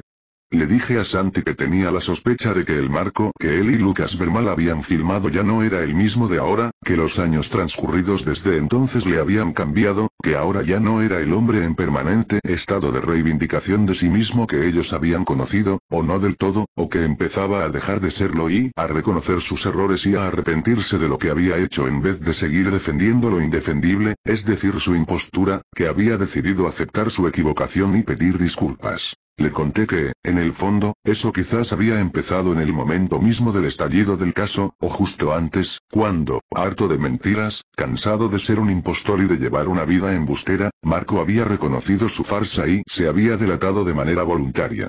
Y, ahora que recuerdo estas cosas que le expliqué a Santi en el Salambó, me doy cuenta de que por aquellas fechas quizá yo ya estaba empezando a pensar algo que solo me atreví a pensar del todo tiempo después, y es que Marco no quería seguir escondiéndose detrás de la mentira, que quería contarme toda la verdad, porque quizás había llegado a la conclusión de que únicamente contando toda la verdad podría de verdad rehabilitarse.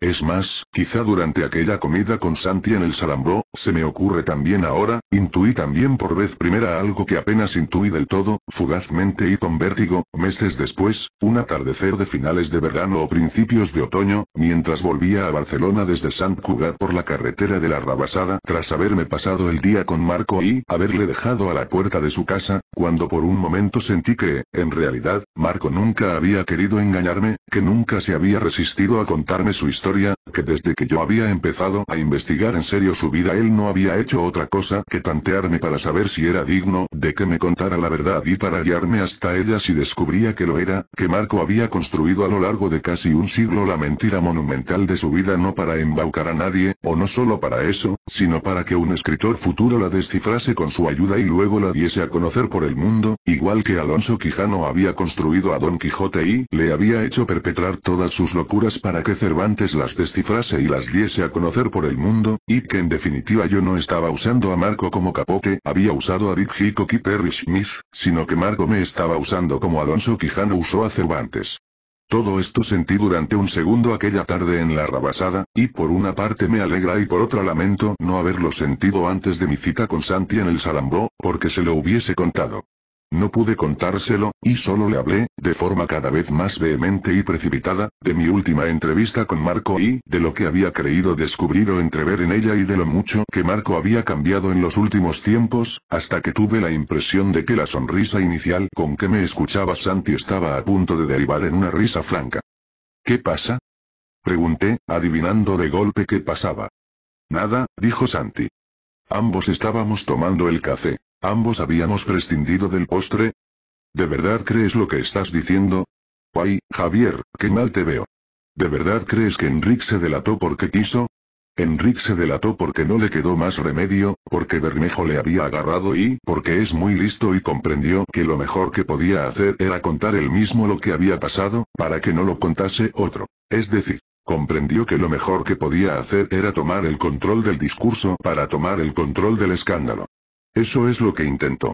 Lo que pasa es que no le salió bien, porque no le podía salir bien, porque ni un genio del enredo como Enrique podía enredar a todo el mundo con la pamema de que se había hecho pasar por un deportado para hacer el bien y para dar voz a los que no tienen voz y todos los demás cuentos. ¿Quitarse la máscara Enrique? Ni en peo. Enrique no se quita nunca la máscara. Siempre está actuando, siempre está haciendo el discurso que en cada momento le interesa. Con nosotros construyó el discurso de la víctima. Contigo parece que está construyendo el discurso del arrepentimiento y del perdón. Pero Enrique no se arrepiente de nada, ni pide perdón nunca. Simplemente, considera que ahora lo que le conviene es eso. Nada más. ¿Tú crees? Pregunté, quizá para que siguiera hablando, de repente convencido de que lo que Santi decía era la verdad. No te quepa la menor duda, Javier, insistió. Con Enrique nunca se puede dejar de pensar. Si dejas de pensar, te jode. Si llegas a una conclusión sobre él, te jode. Si piensas que ya le has entendido y que se ha quitado la máscara, te jode. Enrique siempre tiene otra máscara detrás de la máscara. Siempre se escurre. Nosotros creemos que le metemos en nuestras historias, en nuestras películas y en nuestras novelas, pero en realidad es él el que nos mete en su historia, el que hace con nosotros lo que quiere. Enrique es un enigma, pero un enigma raro. Cuando lo has descifrado, te plantea otro enigma. Y cuando descifras ese segundo enigma, te plantea el tercero. Y así hasta el infinito. O hasta el agotamiento.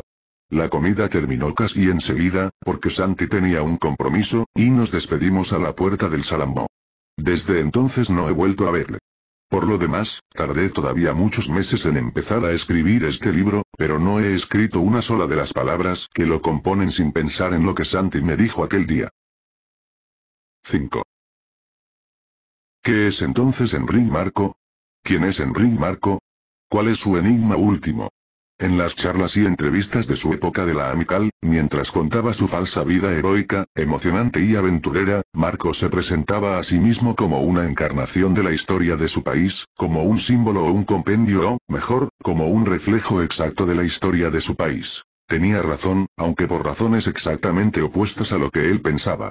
Marco fue un joven obrero anarquista en la Barcelona de la Segunda República, cuando la mayor parte de los jóvenes obreros de Barcelona eran anarquistas, y siguió siéndolo en la Barcelona del principio de la guerra, cuando triunfó en la ciudad una revolución anarquista.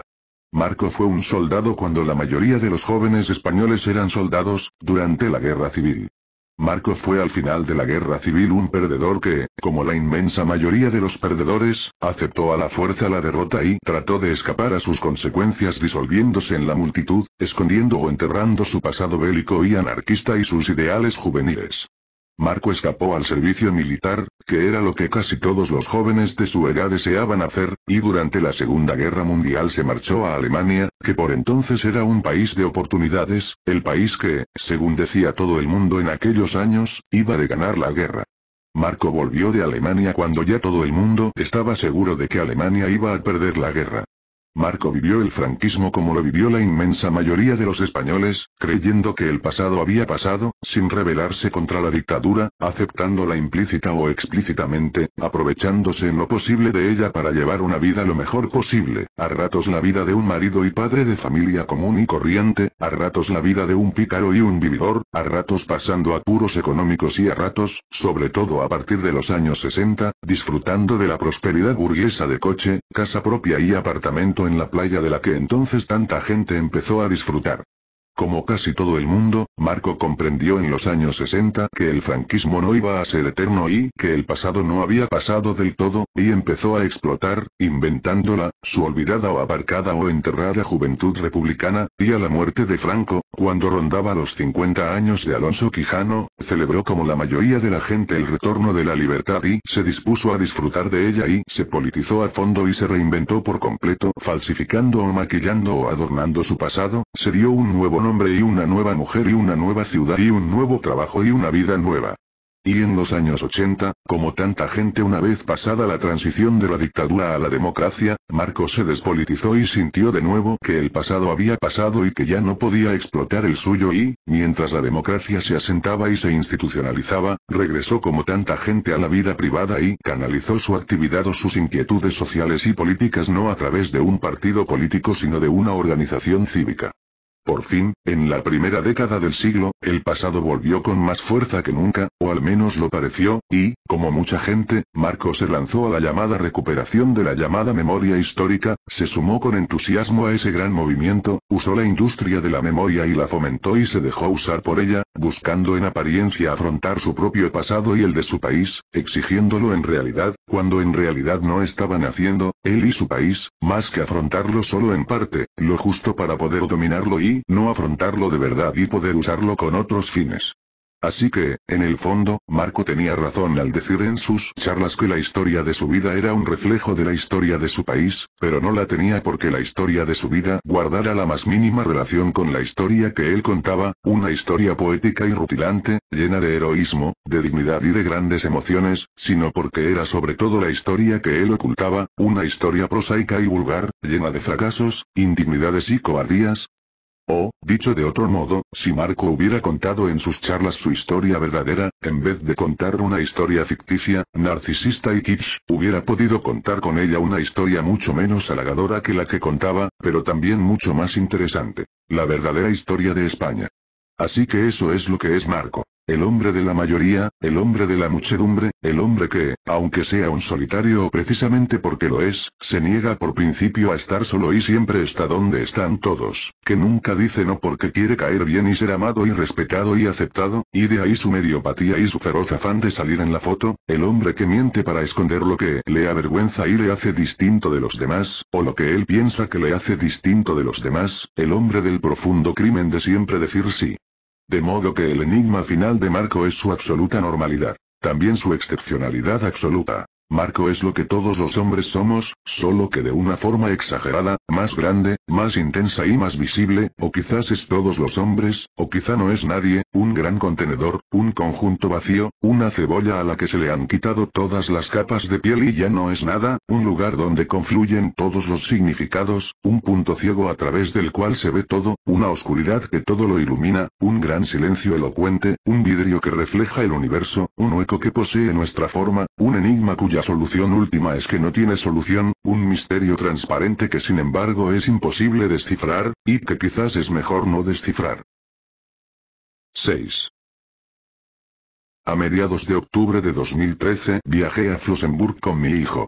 Fui yo quien tiempo atrás le sugirió la idea, porque necesitaba un ayudante para mi visita al campo, además de un cámara que la filmase. Pero habíamos discutido el proyecto varias veces y lo habíamos aplazado otras tantas, y al final fue Raúl quien puso la fecha. Las cosas habían cambiado bastante para él desde que a principios de aquel mismo año o a finales del año anterior me había animado a escribir este libro y había grabado mis primeras conversaciones con Marco. Seguía estando fuerte y saludable y seguía adorando los coches, el deporte y el cine. A su modo, seguía siendo incluso un mil hombres, aunque estaba atravesando un bache. En verano había superado el examen de acceso a la universidad, pero había descartado la idea de hacer cine y había decidido estudiar otra carrera. Ahora, sin embargo, después de llevar unas semanas asistiendo a las clases, las dudas lo atenazaban. No sabía si de verdad le gustaba la carrera, no sabía si tenía aptitudes o capacidad de trabajo o interés suficiente para estudiarla. Estaba desconcertado, un poco alicaído, y, con el fin de airearse un poco y aclararse las ideas, me propuso emprender el viaje a Flossenburg del que hablábamos desde hacía meses. En cuanto a mí, aún no había empezado a escribir este libro, pero ya había atado todos o casi todos los cabos de la historia de Marco, había trazado un esquema minucioso para contarla y, embarazadísimo de ella, a punto de romper aguas, pensé que aquel era un momento perfecto para ir a Flossenburg. Primero, porque necesitaba hacer una última comprobación documental, que solo podía hacer en Flossenburg. Segundo, porque recordaba el consejo de Santi Fillol de que fuera a Flossenburg y albergaba la intuición o la esperanza de que quizás en Flossenburg podía encontrar algo o podía ocurrir algo que terminara de redondear mi libro o que lo dotase de un nuevo e inesperado sentido o incluso que hiciese que todo encajase. Y tercero, porque había llegado a la conclusión de que Flossenburg era el lugar donde debía terminar este libro. Al fin y al cabo, era el lugar donde Marco había construido su gran ficción, el lugar de la ficción que durante tantos años había salvado a Marco, y no el de la realidad que tal vez le hubiera matado. Salimos de Barcelona a primera hora del jueves y llegamos por la noche en Urberg, a hora y media de Flossenburg, después de recorrer de punta a punta Francia y una parte del sur de Alemania, pasando por Montpellier, Lyon, Friburgo y Stuttgart. Por supuesto, durante el viaje nos dio tiempo de hablar de todo. De todo o de casi todo. Como yo también he tenido 18 años, sabía que un chaval de 18 años no acepta consejos de su padre, o por lo menos no acepta consejos explícitos, así que mi plan para aquel viaje consistía en no hablar nunca explícitamente del desconcierto de Raúl, a menos que él lo sacase a colación, pero aprovechar cualquier oportunidad para hablar implícitamente de él.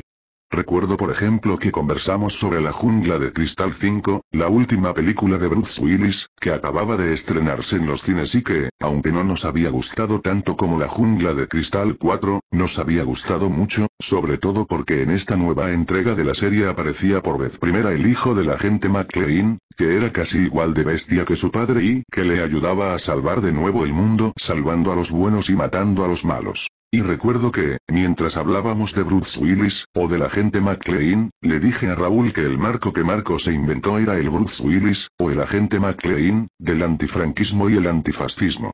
También recuerdo que hablamos de Rafa Nadal, para quien, en aquel tiempo, las cosas habían cambiado casi tanto como para Raúl, solo que en sentido inverso. A principios de año, cuando mi hijo estaba pletórico, Rafa Nadal parecía acabado, arrastraba una larga lesión y había caído varios puestos en la lista de la ATP, parecía que no iba a volver a ser el que había sido. Ahora, sin embargo, apenas unos meses después, todo era distinto. Rafa había recuperado su mejor tenis, había ganado un montón de torneos, incluidos Roland Garros y el Open USA, y volvía a ser el número uno del mundo.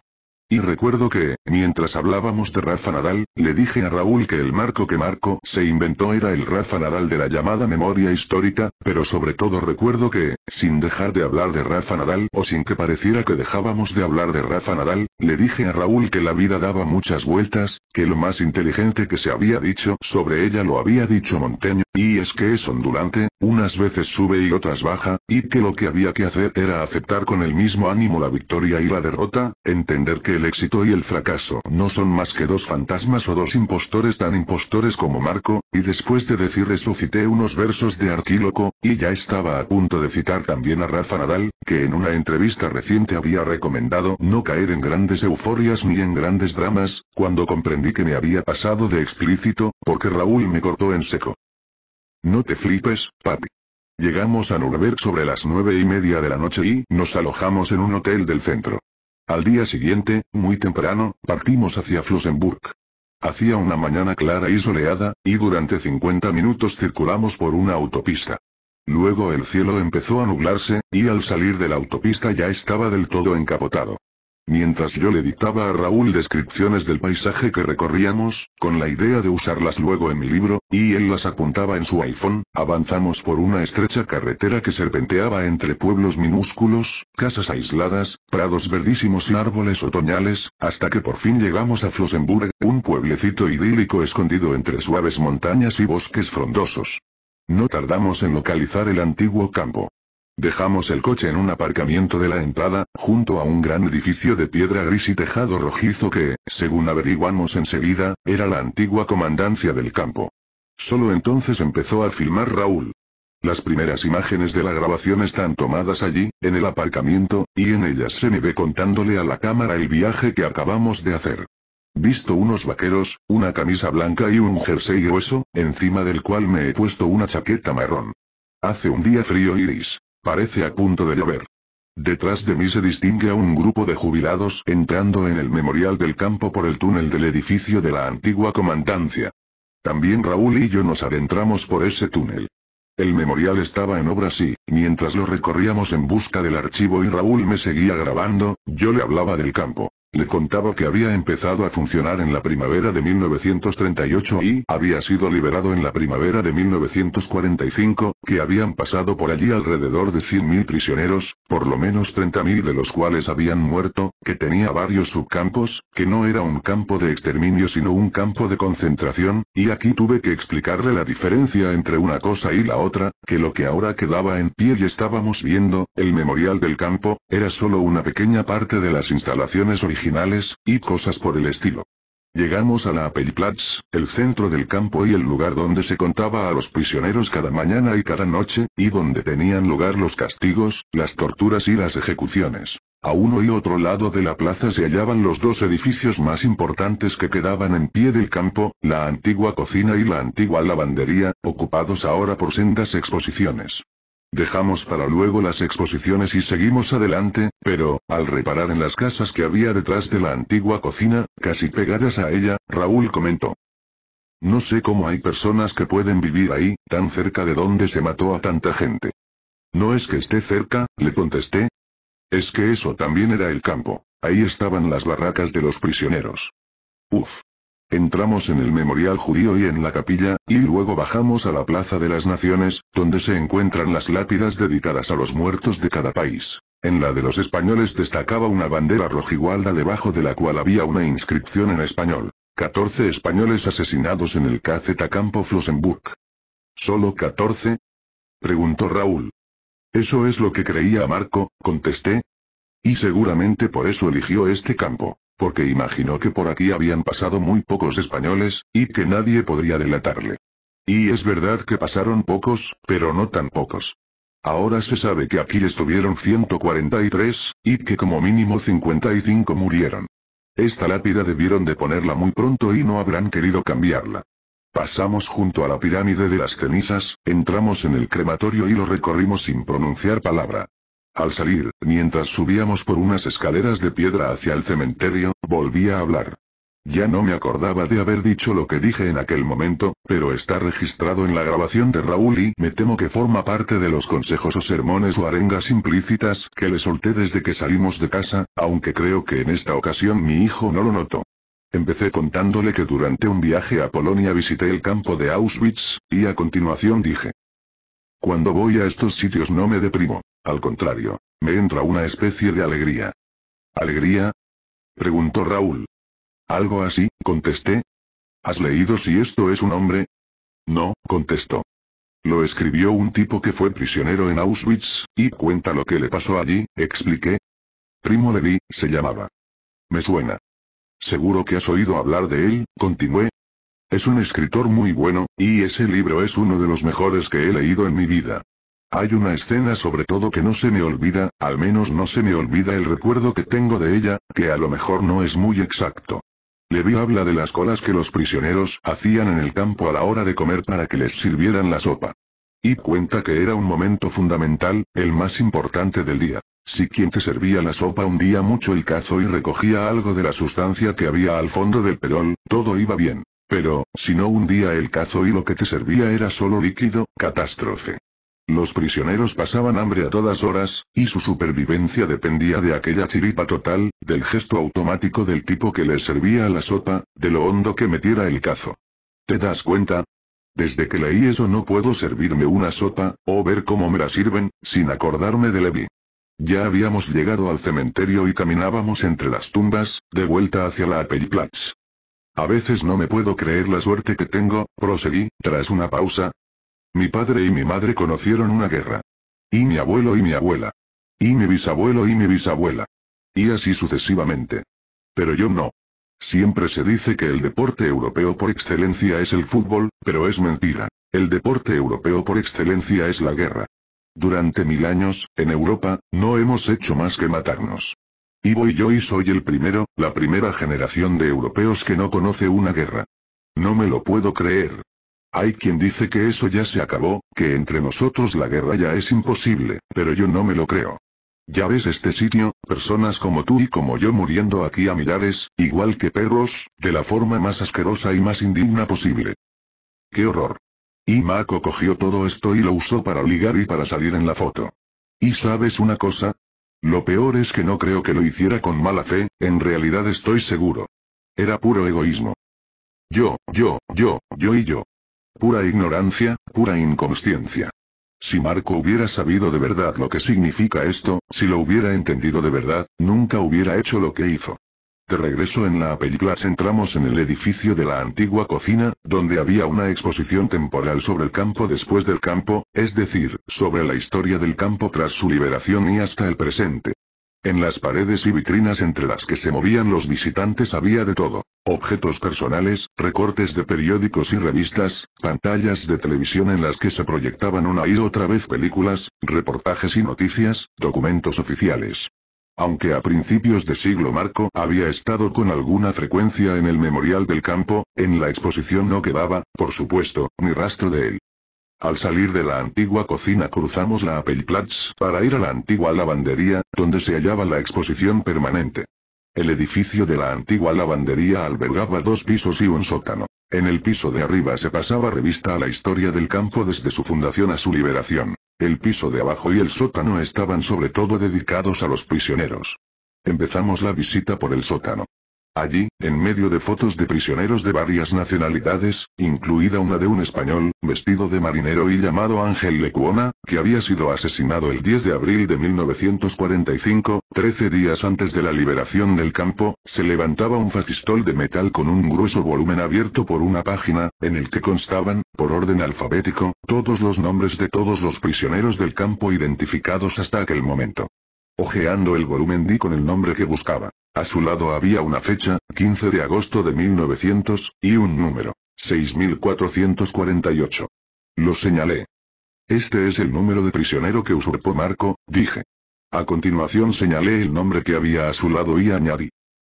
Y este es el nombre del tipo al que suplantó. Moner Castell, Enric, leyó Raúl.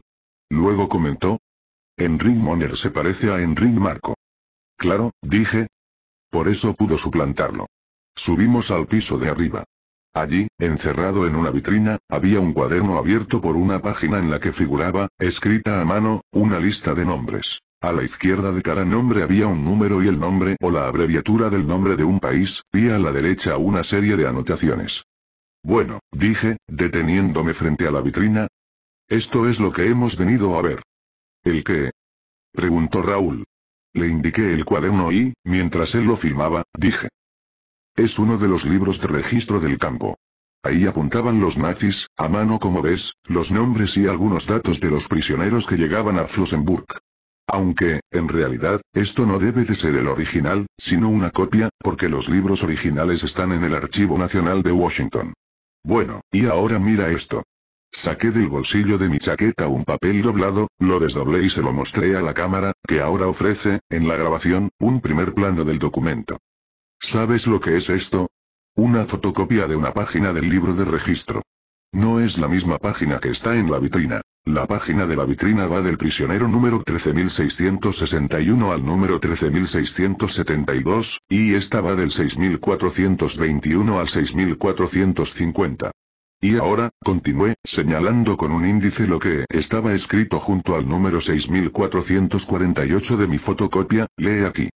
Span, leyó, y luego apartó de golpe la cámara, la imagen de la grabación hace un movimiento sin control, rapidísimo, y, mirándome con cara de susto, pegó un grito. Joder, pone Marco. En la sala había cuatro o cinco personas más, que se volvieron hacia nosotros. Raúl se dio cuenta, me miraba furioso y desconcertado. Seguía grabando, pero enfocaba el suelo. A ver, ¿qué es lo que pasa? se impacientó, bajando la voz, al final es verdad que Marco estuvo aquí. Ahora resulta que el tipo no mentía o qué. ¿A ti qué te parece? Contesté. Anda, grábame otra vez y te lo explico. Raúl me enfocó de nuevo, acalorado. Este papel, empecé, mostrándole mi fotocopia a la cámara, que vuelve a ofrecer un primer plano del documento, estaba en el archivo de la Amical de Machhausen, en Barcelona. Al ingresar allí, Marco lo entregó como prueba de que había sido prisionero en Flossenburg. ¿De dónde lo sacó? De aquí, naturalmente. En uno de sus primeros viajes a Flossenburg, Marco le pidió a la gente del archivo que le fotocopiaran las páginas de los libros de registro donde había españoles, y entre las que le dieron estaba esta. ¿Recuerdas el número de registro que tenía en Ring Moner? El 6448. O sea que, ahí donde tú y yo leemos Marco, en realidad pone Moner. La pregunta se impone. ¿Eso es casualidad? Es decir, el tipo que escribió el nombre de Moner lo escribió de tal manera que parece el nombre de Marco, o que nos lo parece a nosotros. ¿O en realidad fue Marco el que escribió encima del nombre de Moner hasta que pudiese confundirse con el de Marco? Eso es lo que hemos venido a averiguar aquí. ¿Y es importante? En teoría no, pero en la práctica sí, contesté. Para mí por lo menos. Una cosa es que Marco se encontrara en el libro de registro con este regalo de los dioses, que le permitía rematar su impostura, y otra cosa es que el regalo se lo hiciese él. Que yo sepa, Marco no fabricó ninguna prueba falsa. Esta sería la primera, o la única. Y yo quiero saber si una noche, después de volver de un viaje a Flossenburg, se encerró en una habitación de su casa y, él solito, con mucho cuidado y a escondidas de su mujer, amañó la prueba que le faltaba. ¿Y sabes cómo podemos averiguar si lo hizo o no? Muy sencillo. Comparando esta fotocopia con el original, que no puede andar muy lejos. Ahora solo hace falta encontrarlo. Mientras subíamos al primer piso, Raúl murmuró. Joder, qué susto me has pegado. ¿Te imaginas que Marco hubiese estado aquí de verdad? En el primer piso, justo a la entrada de la exposición, había una mesa detrás de la cual estaba sentado un bedel. Detrás del bedel había un estante con libros y DVDs sobre el campo. Como yo no hablo alemán, y Raúl tampoco, le pregunté al bedel, un hombre de ojos saltones, nariz puntiaguda y bigote lacio, si hablaba inglés. No lo hablaba, o muy poco. A pesar de ello intenté explicarle, en inglés, lo que estaba buscando. Naturalmente, no me entendió. Saqué mi fotocopia de la página del libro de registro donde figuraba el nombre de Moner, y se la enseñé mientras repetía en inglés la palabra archivo. El bedel pareció por fin entenderme y señaló el piso de abajo mientras soltaba una parrafada en alemán. Creyendo que quizás en el piso de abajo guardaban las demás copias de los libros de registro, o que estaba allí el archivo, Raúl y yo bajamos al piso de abajo. No encontramos ni el archivo ni las demás copias de los libros de registro. Volvimos a subir y volví a intentar explicarle al Bedel, despacio y vocalizando, lo que quería, y a mitad de la explicación me entregó un formulario y un bolígrafo para rellenarlo. El formulario estaba escrito en inglés, pero no guardaba la menor relación con lo que yo pedía.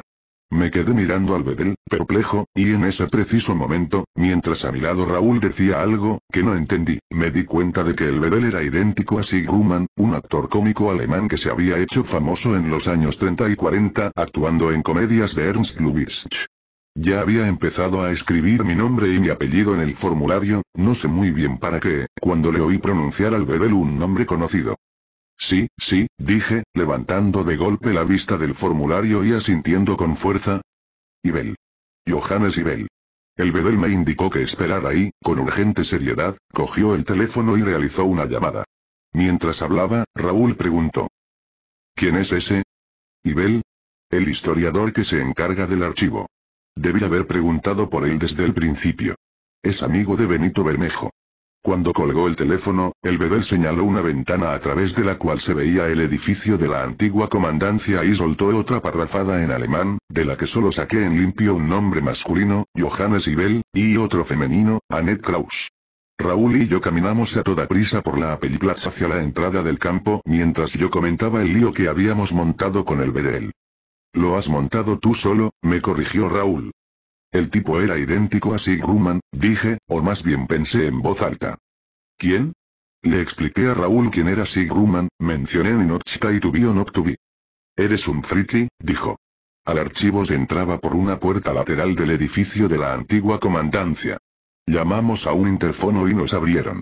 Al fondo de un pasillo aguardaba una chica de veintitantos años, sonriente, delgada, de ojos claros y pelo castaño recogido con horquillas. Un pañuelo verde casi le ocultaba la garganta. Mientras nos hacía pasar a su despacho y nos invitaba a sentarnos frente a su escritorio, la chica explicó en un inglés impecable que se llamaba Annette Krause que era la ayudante de Johannes Ibel, quien aquel día se encontraba en el campo de Dachau. También se ofreció a ayudarnos en lo que necesitásemos. Sentado ante nuestra anfitriona en aquella gran oficina de grandes ventanales que daban a la entrada del campo, una oficina que sin duda compartía con otras personas, aunque en aquel momento estábamos los tres solos en ella, lo primero que le pregunté fue si le importaba que mi hijo nos grabase. Annette Kraus sonrió y dijo que no. Entonces, mientras Raúl empezaba a grabarnos, le conté a la chica que era escritor y que estaba escribiendo un libro sobre Enrique Marco. Ella, por supuesto, había oído hablar de Marco, pero no lo había conocido porque todavía no trabajaba en el memorial cuando él lo visitaba, ni siquiera cuando estalló el caso. Me preguntó qué clase de libros escribía. Novelas, contesté. A veces novelas con ficción y a veces novelas sin ficción. Esta será sin ficción. Claro, dijo ella. Aquí la ficción ya la puso el señor Marco, ¿no? Exacto, contesté. La chica parecía encantada de atendernos, así que estuve un rato hablando con ella mientras Raúl nos grababa. En respuesta a mis preguntas, Annette Krauss me informó sobre el funcionamiento del archivo, sobre la historia del campo y del memorial, sobre la base de datos que había confeccionado Johannes Ibel, y me dio orientaciones bibliográficas y precisó algunos datos y algunas fechas. Cuando terminó el interrogatorio, le dije que tenía una última cosa que pedirle. ¿Qué cosa? Preguntó, sonriendo hacia la cámara de Raúl. Saqué la fotocopia de la página del libro de registro donde figuraba el nombre de Enric Moner, el nombre que, tal y como estaba escrito, tanto se parecía al Enric Marco, le expliqué el problema que tenía y le pregunté si podía ver el original, o la copia del original, para comprobar si Marco había modificado la fotocopia o no. Por supuesto que puede verlo, dijo. Se levantó y salió del despacho. Mientras estaba fuera, Raúl apagó la cámara y nos miramos expectantes. Por un momento recordé a Bruce Willis y a su hijo en trance de salvar el mundo. Seguro que es una casualidad, aventuró Raúl. Seguro que no, repliqué. Annette Krauss regresó al cabo de unos minutos con un papel en la mano, que depositó en la mesa de su escritorio, entre Raúl y yo, y se quedó de pie en medio de los dos. El papel era una fotocopia de la página del libro de registro que yo le había pedido. Coloqué mi fotocopia junto a ella, Raúl se olvidó de volver a grabar y los tres nos inclinamos sobre el escritorio para comparar ambos documentos. La verdad saltó a la vista enseguida. Marco había hecho una obra maestra. En el libro de registro no habían escrito Moner, sino Monet, y nuestro hombre había aprovechado aquel acento providencial para construir con él una C. Luego, fácilmente, había convertido la O, en A, la N, en R, y había terminado la palabra con una O, de tal manera que, después de repasar con cuidado el nombre, era como si en el libro no hubiesen escrito Monet, ni Moner, sino Marco. Además, buscando que no se notase la manipulación, había repasado también la abreviatura SPAN, de Spanier. Español, que había junto a la palabra Monet, para que las letras de ambas tuvieran el mismo grosor y parecieran salidas de la misma mano. Los tres nos miramos. La cámara de Raúl no captó el momento, pero yo no me olvidaré de él. Tenía usted razón, dijo Annette Kraus, sin dejar de sonreír. Y yo pensé, pensando en Marco. Sabía que no me fallaría. Es el puto amo. Dijo Raúl, sin poder contenerse. Y yo pensé, pensando en Raúl. Sí, pero él también es Enrique Marco. Fin.